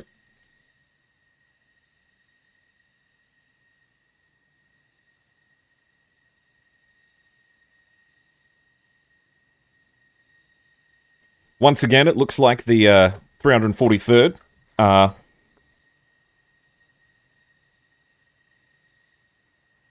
splitting their takeoff with the F-14 taking the lead with the F-16, F-18 and the JF-17 coming in from behind.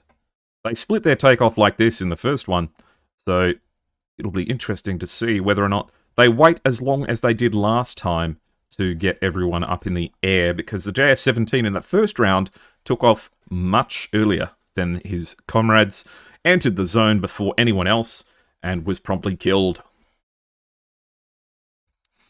If I were to guess, just by going off the way that this is looking, I would say that they might be intending to lead the way with the F-14 and get as much information as they can while the force behind them comes along with intent to kill. Looking good, feeling good. And how are the boys for the 51st looking with their Su-33s heading along to the runway.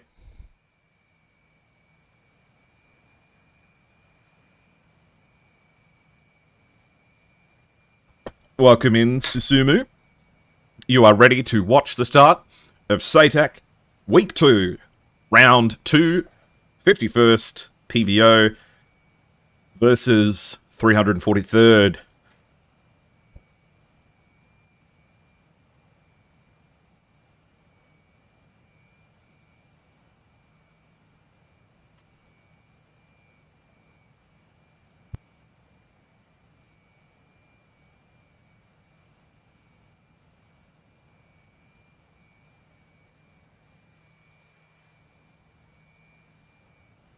Feels like we're missing one. Where's the, uh... Oh, two of the, of course. The J11s are taking off from the second runway.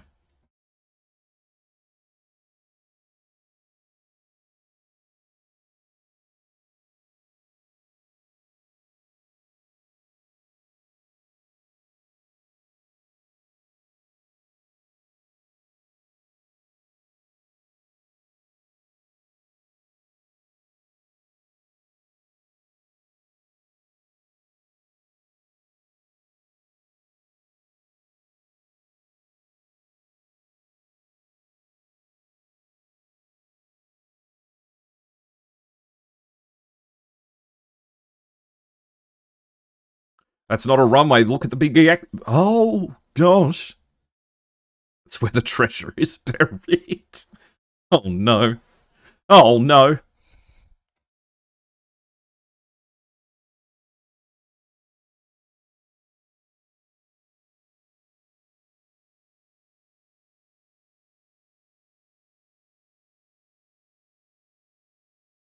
All right.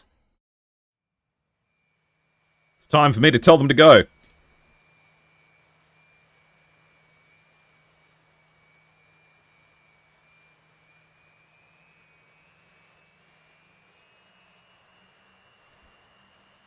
That's the most funnerest bit of the whole thing.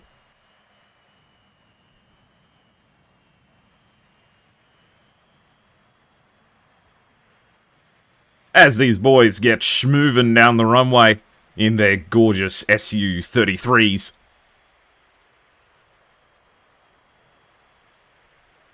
Thank you once again, everyone, for all of the follows today. It's a real pleasure to be putting on this show for you all, and I hope that you're enjoying yourselves very much. Particular thank you to all of you who have been patient with the technical difficulties on all ends. It's DCS. How can we expect anything less than a little bit of scuff? But that's part of what makes it fun. And it looks like the SU-33s of the 51st are taking off happily down the runway, followed closely by their J11 mates, who... Oh. A little bit rough, buddy. Careful, careful. Zero Sum cutting his burner potentially a little bit too enthusiastically. Formation takeoff looking good. Oh, look, we'll have to keep a close eye on the uh, on the boys. Meanwhile, as expected, the F-14 is leading the way for 343rd. So I reckon they'll be planning to use this as a pseudo AWACS as they enter the area. Meanwhile, the second flight of pilots is taking off to follow.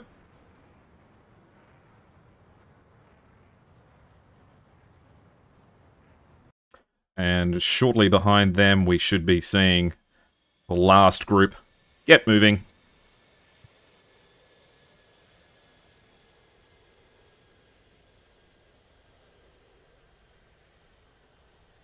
So, different tactics from last time. They're not leading the way with the JF-17. Instead, letting the F-14 Bravo take the front seat. the F-14's taking off. I know people who would rip your guts out for saying something like that. The F-14's not old. But they're definitely taking to the skies. Not burning up to altitude, just uh, staying in mil power for now, so no real rush to get things going.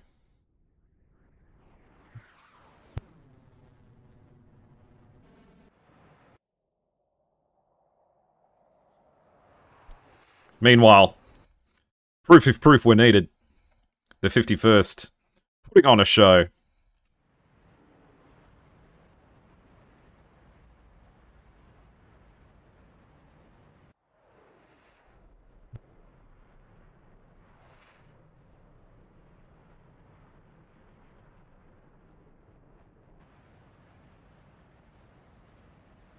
As pointed out earlier, this server does have turbulence turned on, so flying in close formation like this is no easy task. This is not buttery smooth air that they're flying through. These guys are sticking together like glue, and they're managing to do it in some fairly hostile air. What an inspiration. These guys know their airframes, and they are showing us First round went to them, deservedly. They flew well. But it will be interesting to see whether or not uh, 343rd can cope with the Russian aggression that we have on display here from the boys.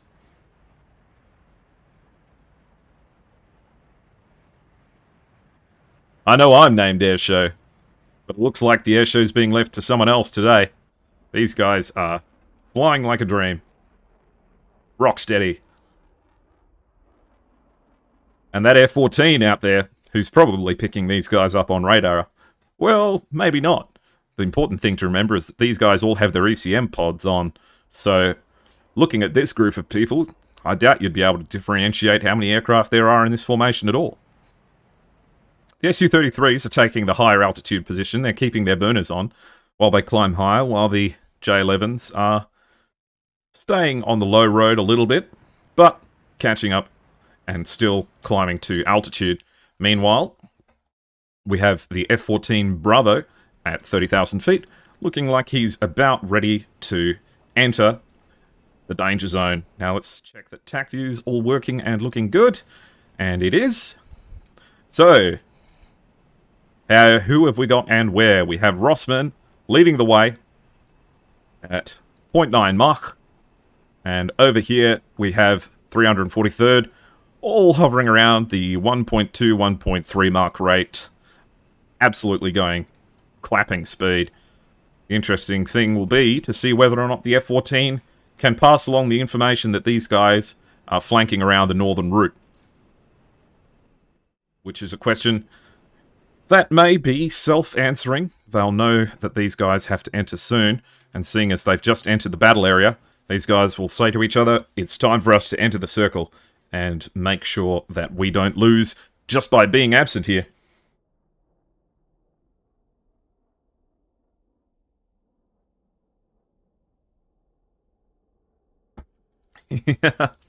so they'll start their turn in and as expected, they do it in beautiful formation.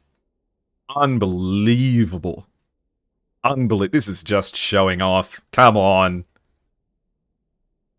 This is just showing off. I mean, I've got a massive smile on my face. It's not meant to look this easy. That is wicked cool.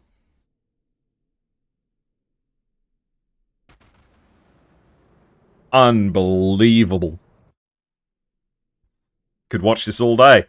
Don't need them to fight. One more, one more, one more. Perfect. Oh, what more could you want? So, they're at 30,000 feet and heading towards the circle. Still sticking together in quite close formation. Two distinct groups, the Su-33 sticking together, and the J-11 sticking together quite closely. Meanwhile, the F-14B is leading the strike group right down the middle, hoping to take advantage of the inner valley of this terrain in order to get the best missile shots that they can. Distances between the two are still quite long, but there is a massive speed and height advantage for 51st at the moment. It just all depends on what they're going to use to take advantage of it. Meanwhile, we have Starry Fox 9 and Papa No sticking together. They will form the first group for the combat area.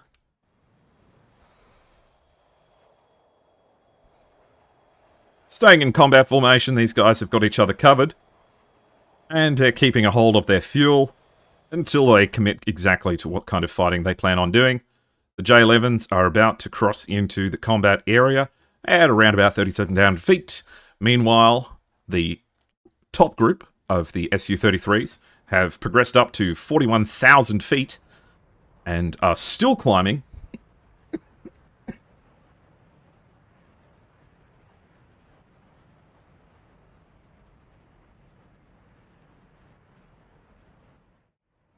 Apologies, I was on the wrong screen. And they are 42,000 feet at the moment and still climbing.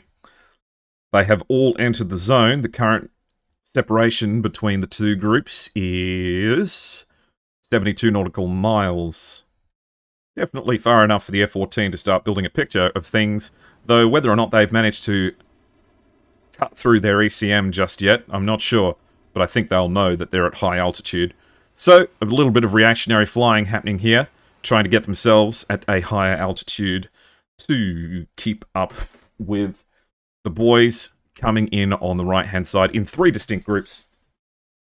I mean, tactically speaking, it's like a dream come true. Common Air Show dummy moment. Oh, come on. I'm not being ridiculous.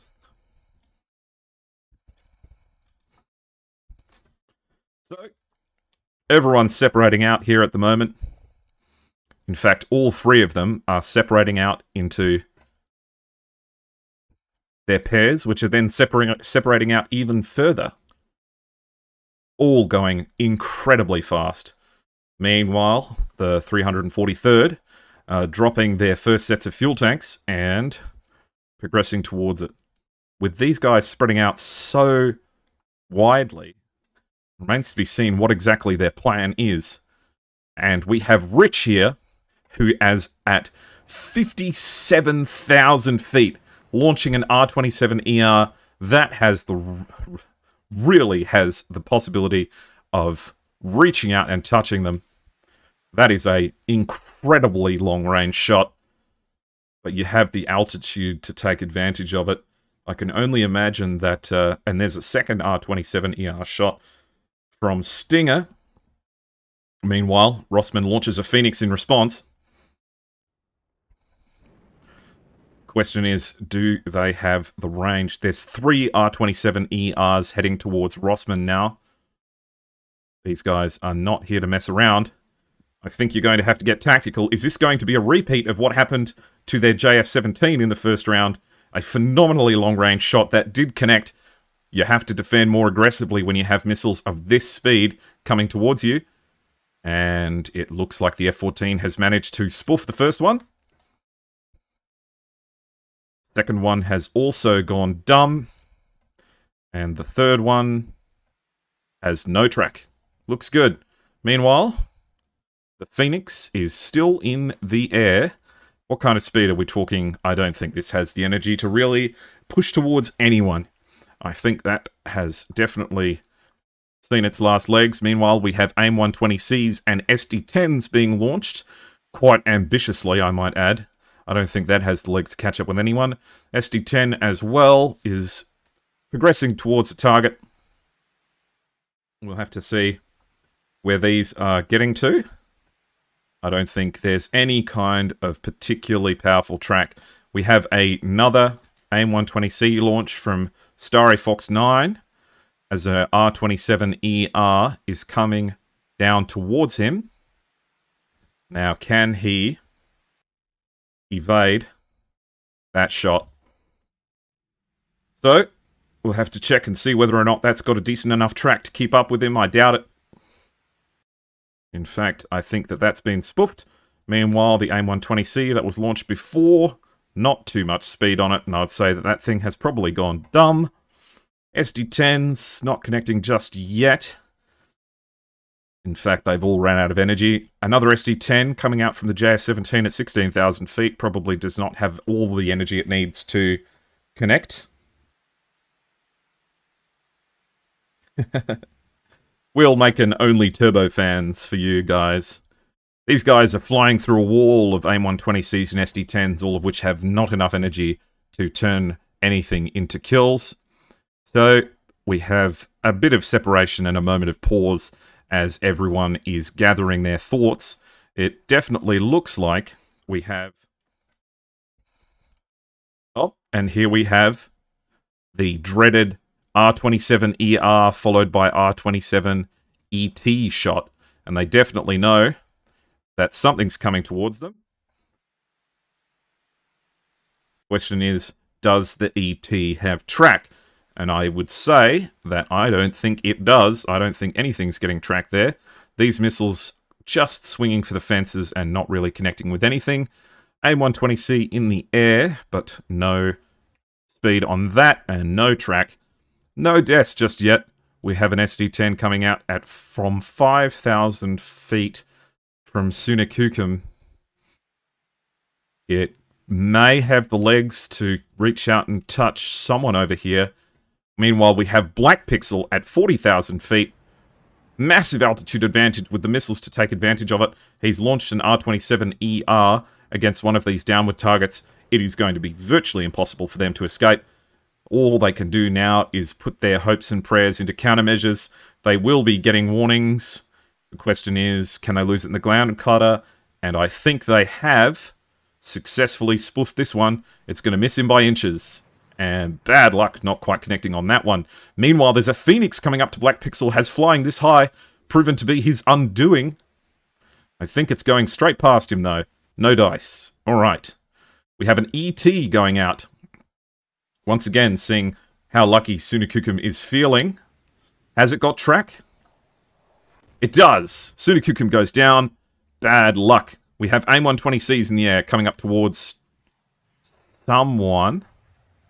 Yeah.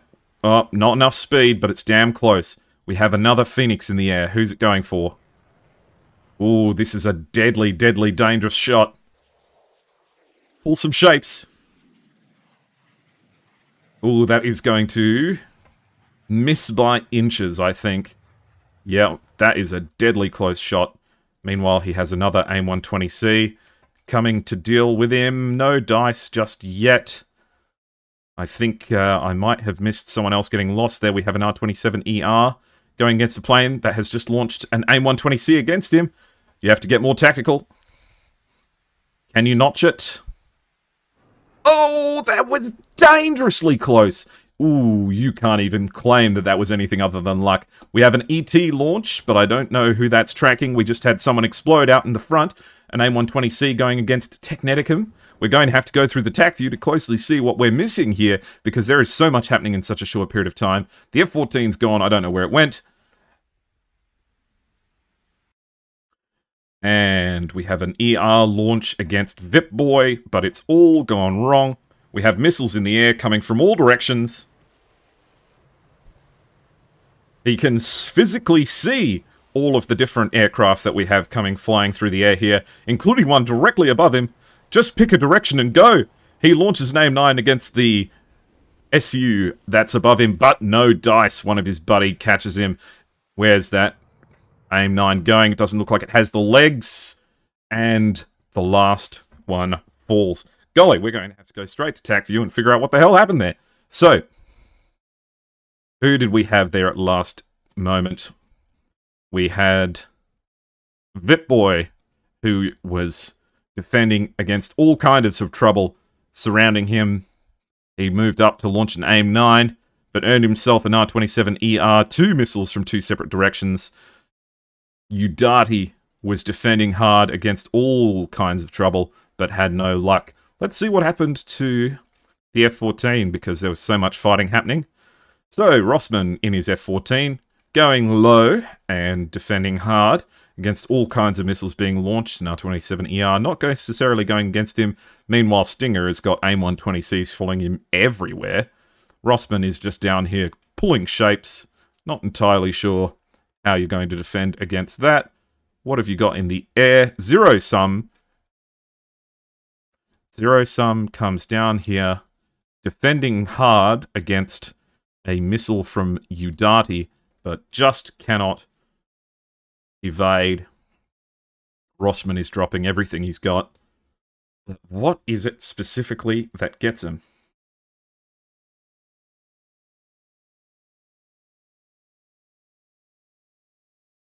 Where do you get this video thing that shows what happened? One of the sponsors for this match is TacView, and this is a program called TacView.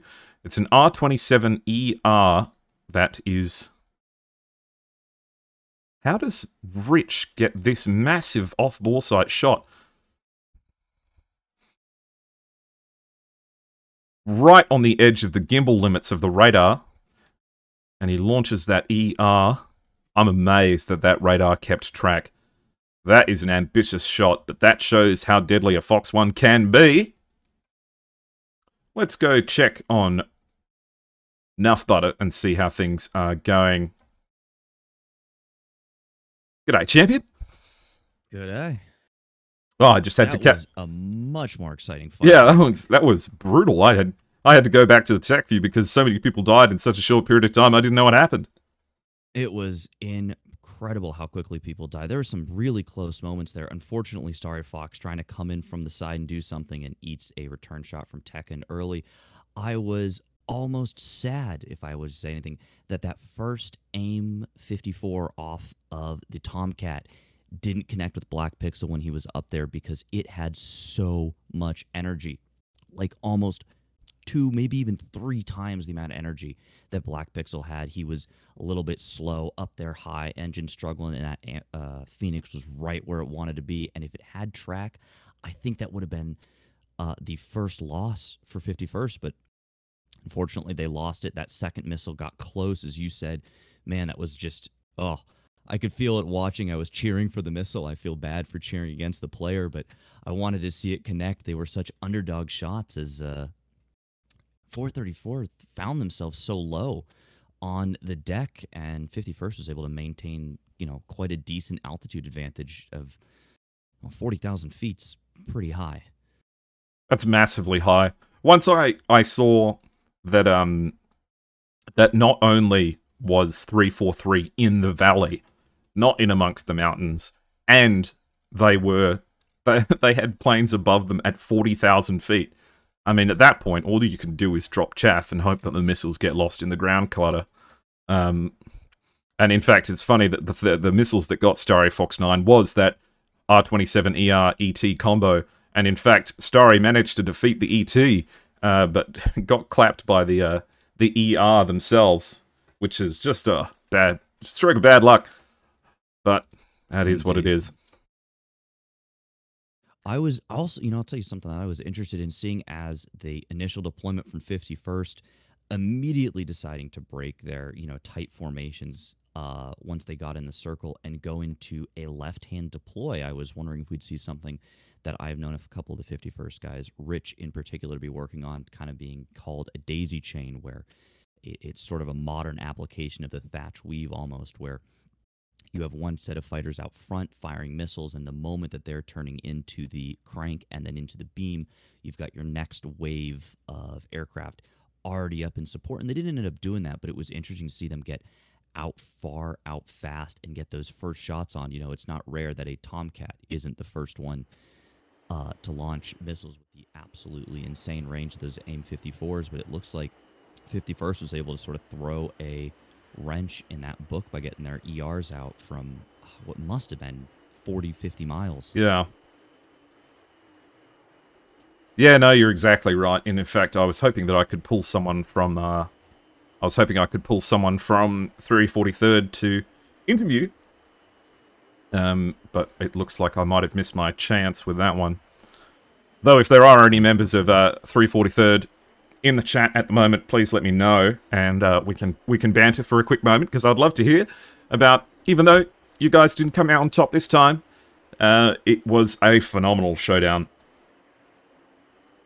Uh, now we have uh, we have the 51st just showing off their formation flying abilities. I mean, that those formations were were just phenomenal.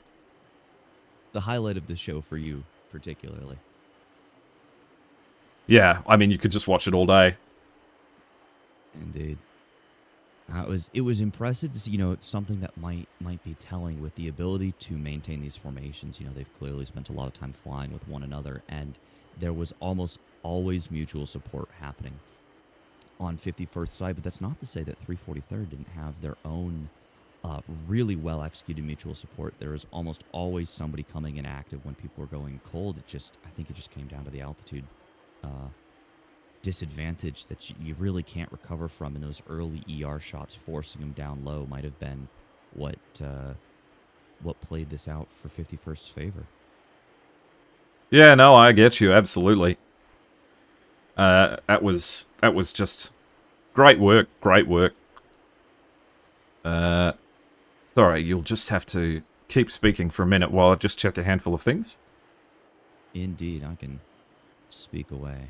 Oh, there were a couple other moments that I'd love to love to re-bring attention to, even if we can't take a look at them uh, just yet. Um, the first, obviously, you know, we watched Rich have that amazing off uh, Borshite, Boresight shot in, uh, that ended up taking out the F-14. But it's it's worth pointing out that that's a follow-up shot that had to have been well executed and well uh, well verbalized as that's coming off of Stinger's ER that he fires out uh, on that F 14. Rich is already there to back up uh, that shot when it gets trashed in a bit of a cross block, which is something that, you know, I think we started to see here as the 51st ended up getting the better positioning, having a bit of a wider spread. Not quite that beautiful boxing in that Starry was able to pull out of the first match, but something definitely up there in terms of getting the wider positioning on 343rd. And that was really the benefit of it there was that when they needed a push from one side, which would, of course, get return fire as Stinger found, uh, I think, two, maybe three AIM 120Cs chasing them out of the fight in there. Rich was already there to back it up with his own missiles, uh, you know, which is something that certainly is uh, towards the winning team.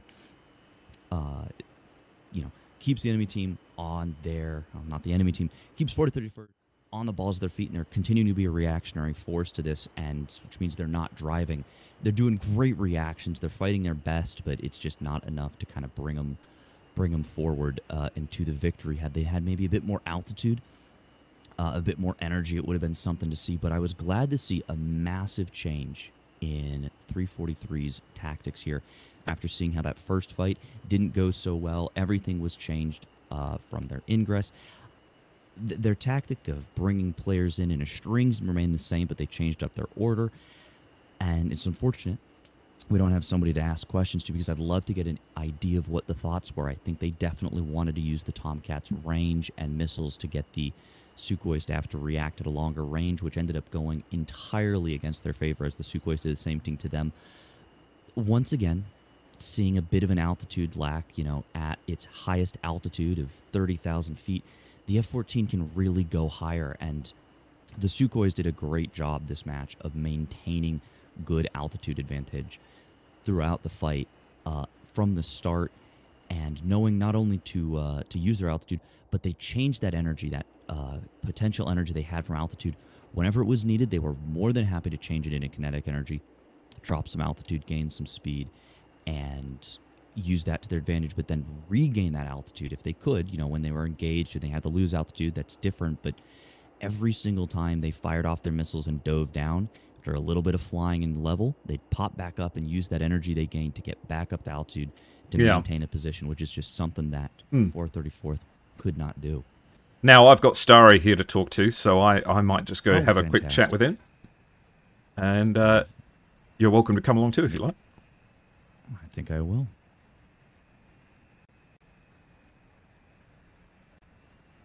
Hello, Starry. Thank you very much for coming and joining us for a little minute. Yeah, hello. Some fantastic flying from your team. Very, very well done. That was an absolutely great competition. Unfortunately, it didn't go your way today, but I think you guys did great. How are you feeling? Nah, I think uh, um, it's really hard to say in, in English. Um, you know, we did uh, we did uh, uh, we did as possible as we can, and uh, but uh, we couldn't meet it. But uh, we yeah. learned so many things from them. So mm.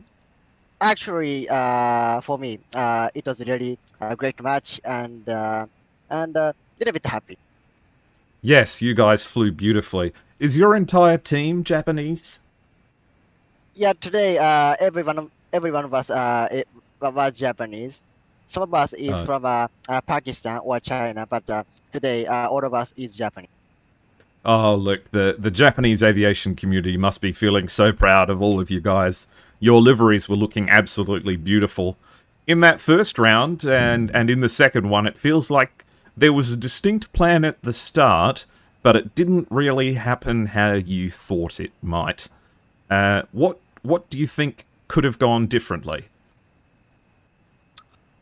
Mm, actually, uh, for today, uh, we we don't have uh, so many uh, tactics tactics against uh, 51st today. Um, you know, uh, some of us is just come back to practice, so um, so some of us uh, was not ready for it. So today, uh, we just uh, we just try to uh, learn learn something uh, from 51st. Yeah. So we didn't think so well. No, and and flying mostly Western airframes against Sukhois yep. must be very difficult. Uh, did they catch you off guard, or were you uh, were you, did they behave how you expected them to? Yeah, I expected that this situation like uh, you know, 51st is a uh, uh, really uh, skilled flanker pilots, you know. Absolutely. So yeah, so we know they're gonna use ECM and uh, they're gonna uh, they're gonna use ECM and uh, broke our missile, and uh, yeah, I expected this situation, but uh, actually uh, I couldn't uh, I couldn't fire I couldn't fire back against uh, 51st because they are uh, pushing so hard, and uh, we Yeah. most of us uh, is most of us has uh, uh, no no experience uh, against uh, these professional flanker pilots. So Yes, that's why we definitely. Yes. A- and uh, no, have you got anything you'd like to ask? well, for now it's nothing. Uh, but one thing, uh, one thing is uh, uh, thanks for today's stream and uh, Oh, look. uh, thanks, yeah, thanks for you guys a great stream. Uh, Uh, sorry, Nuff, I can't hear you. Uh, the other the other guy here, Nuff, is uh, is inaudible, uh, and I thought that he was going to ask something too. We'll see if he can figure it out. Um, no, it's been an, a real pleasure watching you guys fight. I felt so sorry uh, in the second round when you guys uh, you guys were low, and I could see you just dropping countermeasures, and you had R27 ERs and ETs flying everywhere, and it was just uh, a difficult fight. And uh, I think you got a bit unlucky with some of those AIM-120Cs and Phoenixes. I think that uh, those missiles not connecting was possibly just a bit of bad luck. And uh, I think that luck just wasn't on your side today.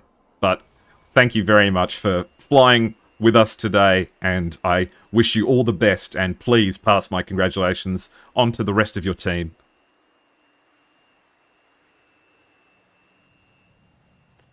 Thank you very much, Starry. I will Yeah. catch you later. Yep. Well, um, so one thing I want to I want to tell everyone is uh, we lost today. We lost. Uh, uh, we absolutely lost like a heart, but uh, you know, we'll be back. Next time we're gonna crash cap. We will. We definitely crash crash fifty fast, and we will take the win. I can't wait. I just cannot wait. Good luck. I know you guys have what it takes. Very, very Yeah. good luck. now I know what should I do and uh, what should I practice. So there's no there's no there's no chance for them next time. That's a that's a big challenge to the the 51st. Well, I feel like they should be uh they should be taking pleasure in all of that victory, but uh they should be on the lookout for what you guys will be bringing next time. Fantastic. Well,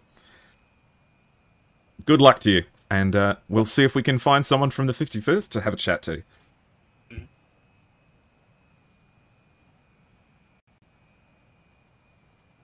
Now, uh, are there any members of the 51st who would specifically like to? hear me now? I can hear you now.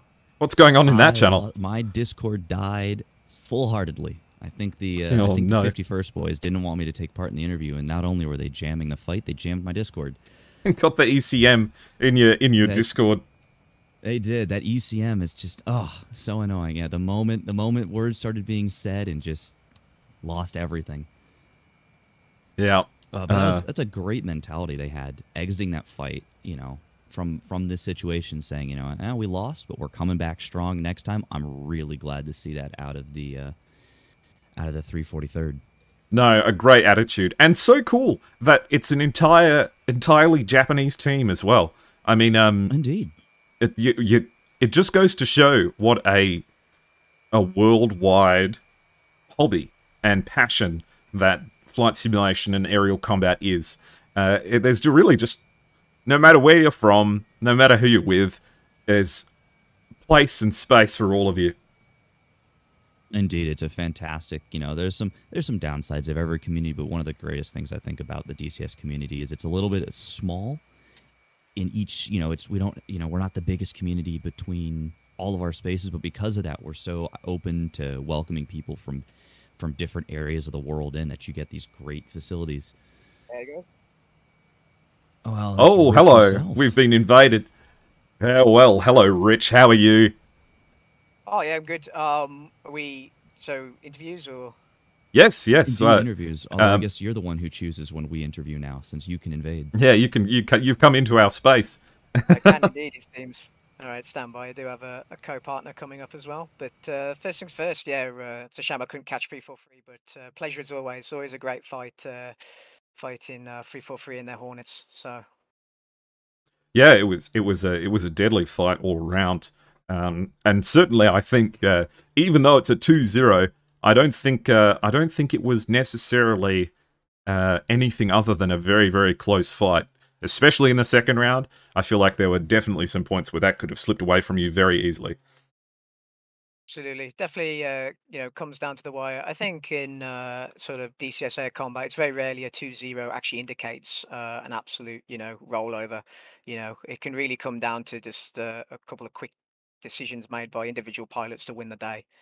Um, but yeah, I also believe that I've turned them have up a bit now, so uh, hopefully they're a bit way, louder. Absolutely.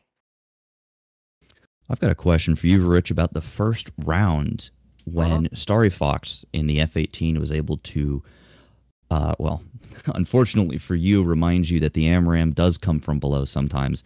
Sneak into the side of the fight and, and box you guys in. Was there any indication that uh, Starry Fox was even there? Did your data links pick him up?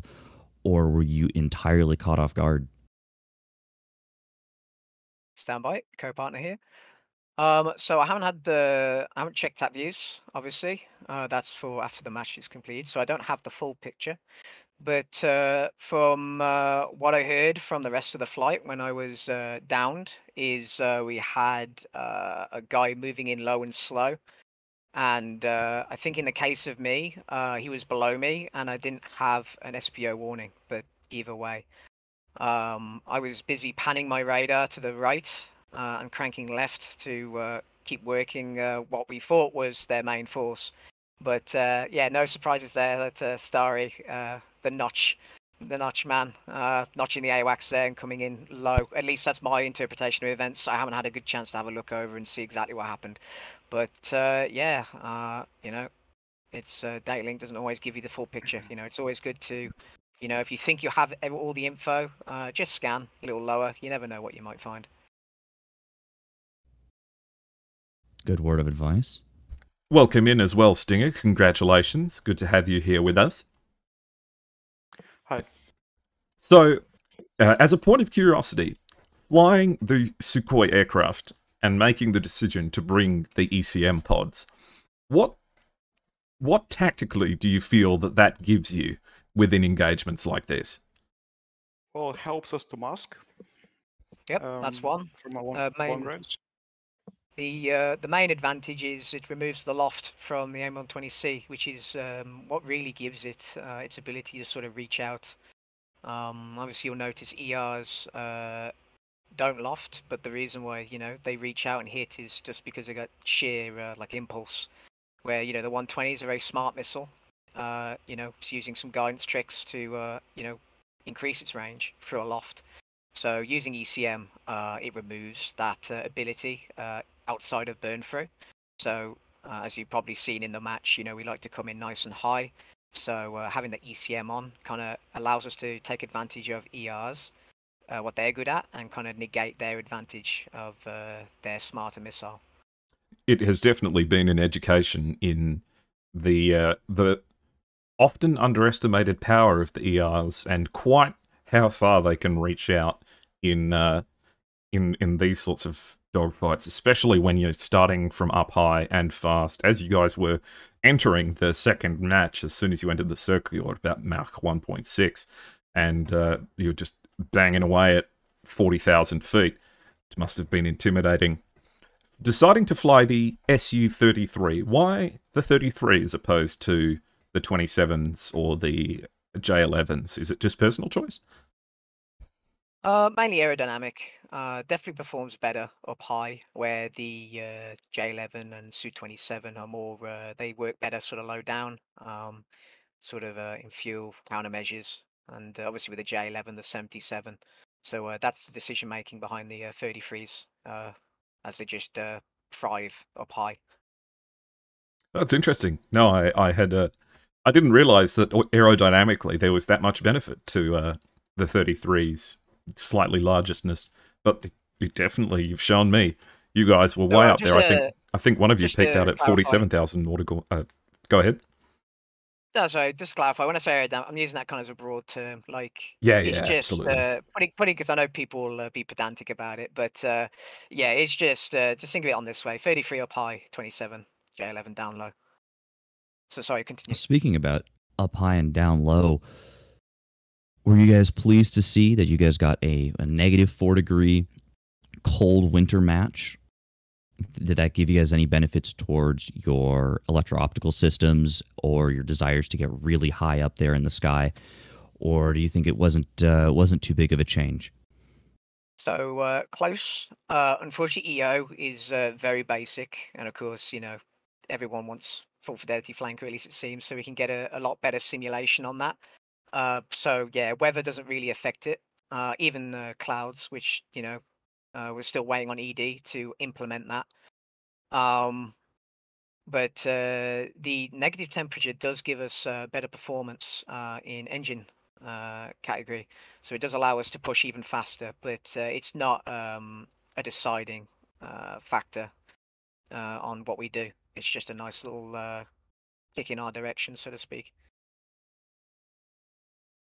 I'm just having a look at the flight uh, in the second round, and for you, Stinger, uh, there's an interesting moment when you're curving around down low, and you have a F-16 seemingly just appear out of nowhere in front of you. Did you know that Udati was there, or uh, did he catch you off guard and just flew over your canopy, and you went, "Oh no"? Is that towards the end of the match or? Yeah, the end of the second round. Yeah, in the very end, yeah, I did see him on a data link. Uh, I, s- I saw contacts on data link, and then I knew I'm, I was merged, and I think I went vertical and fired a missile, and then it was all over. I actually have to see TacViews to see exactly what happened, but yeah, I knew someone was there. It just um, ha- happened really quickly. of course. Yeah. Uh, true, true. Well, uh, any anything, any behaviour from uh, the 343rd that caught you guys off guard? Any any tense moments where you thought, "Oh, we might have made a mistake here"? I know there were some very close calls with uh, with some Phoenixes and and AIM-120Cs. One of which I think came within 10 feet of hitting one of you guys. Uh, did it feel like you were in control the whole time?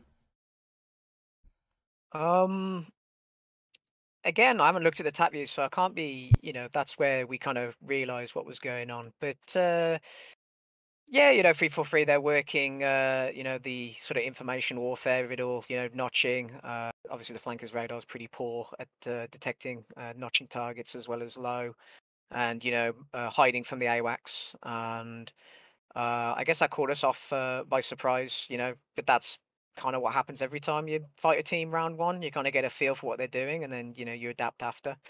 Uh, and apart from that, yeah, uh, that round two, uh, like I said at the beginning, it's just one of those uh, the the, the uh, finale, let's say, where you know it very much comes down to uh, obviously you know the teamwork, but you know some snap decision making by individual pilots can really win the day clean. Um, but yeah, apart from that, you know, just great fights from three four three as always. And you've seen some of the teams do battle thus far, and you've seen some of the people you're likely to go up against in the future. How confident are you feeling about potentially going all the way? Hard to tell.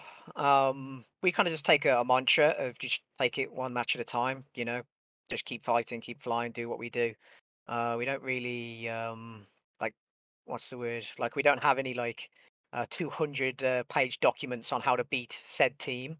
We kind of, you know, we have our we have our strategies, we have our counters, count, you know, counters to counters. Uh, you know, like I say, round one, we kind of see what they're up to and then adjust our own plan on that. Uh, but yeah, as always, aim for the stars. You know, uh, we absolutely want to, uh, you know, get there on, on the final with flankers. You know, and show, uh, you know, it's uh, more than it looks to be. You know, in sort of a public setting.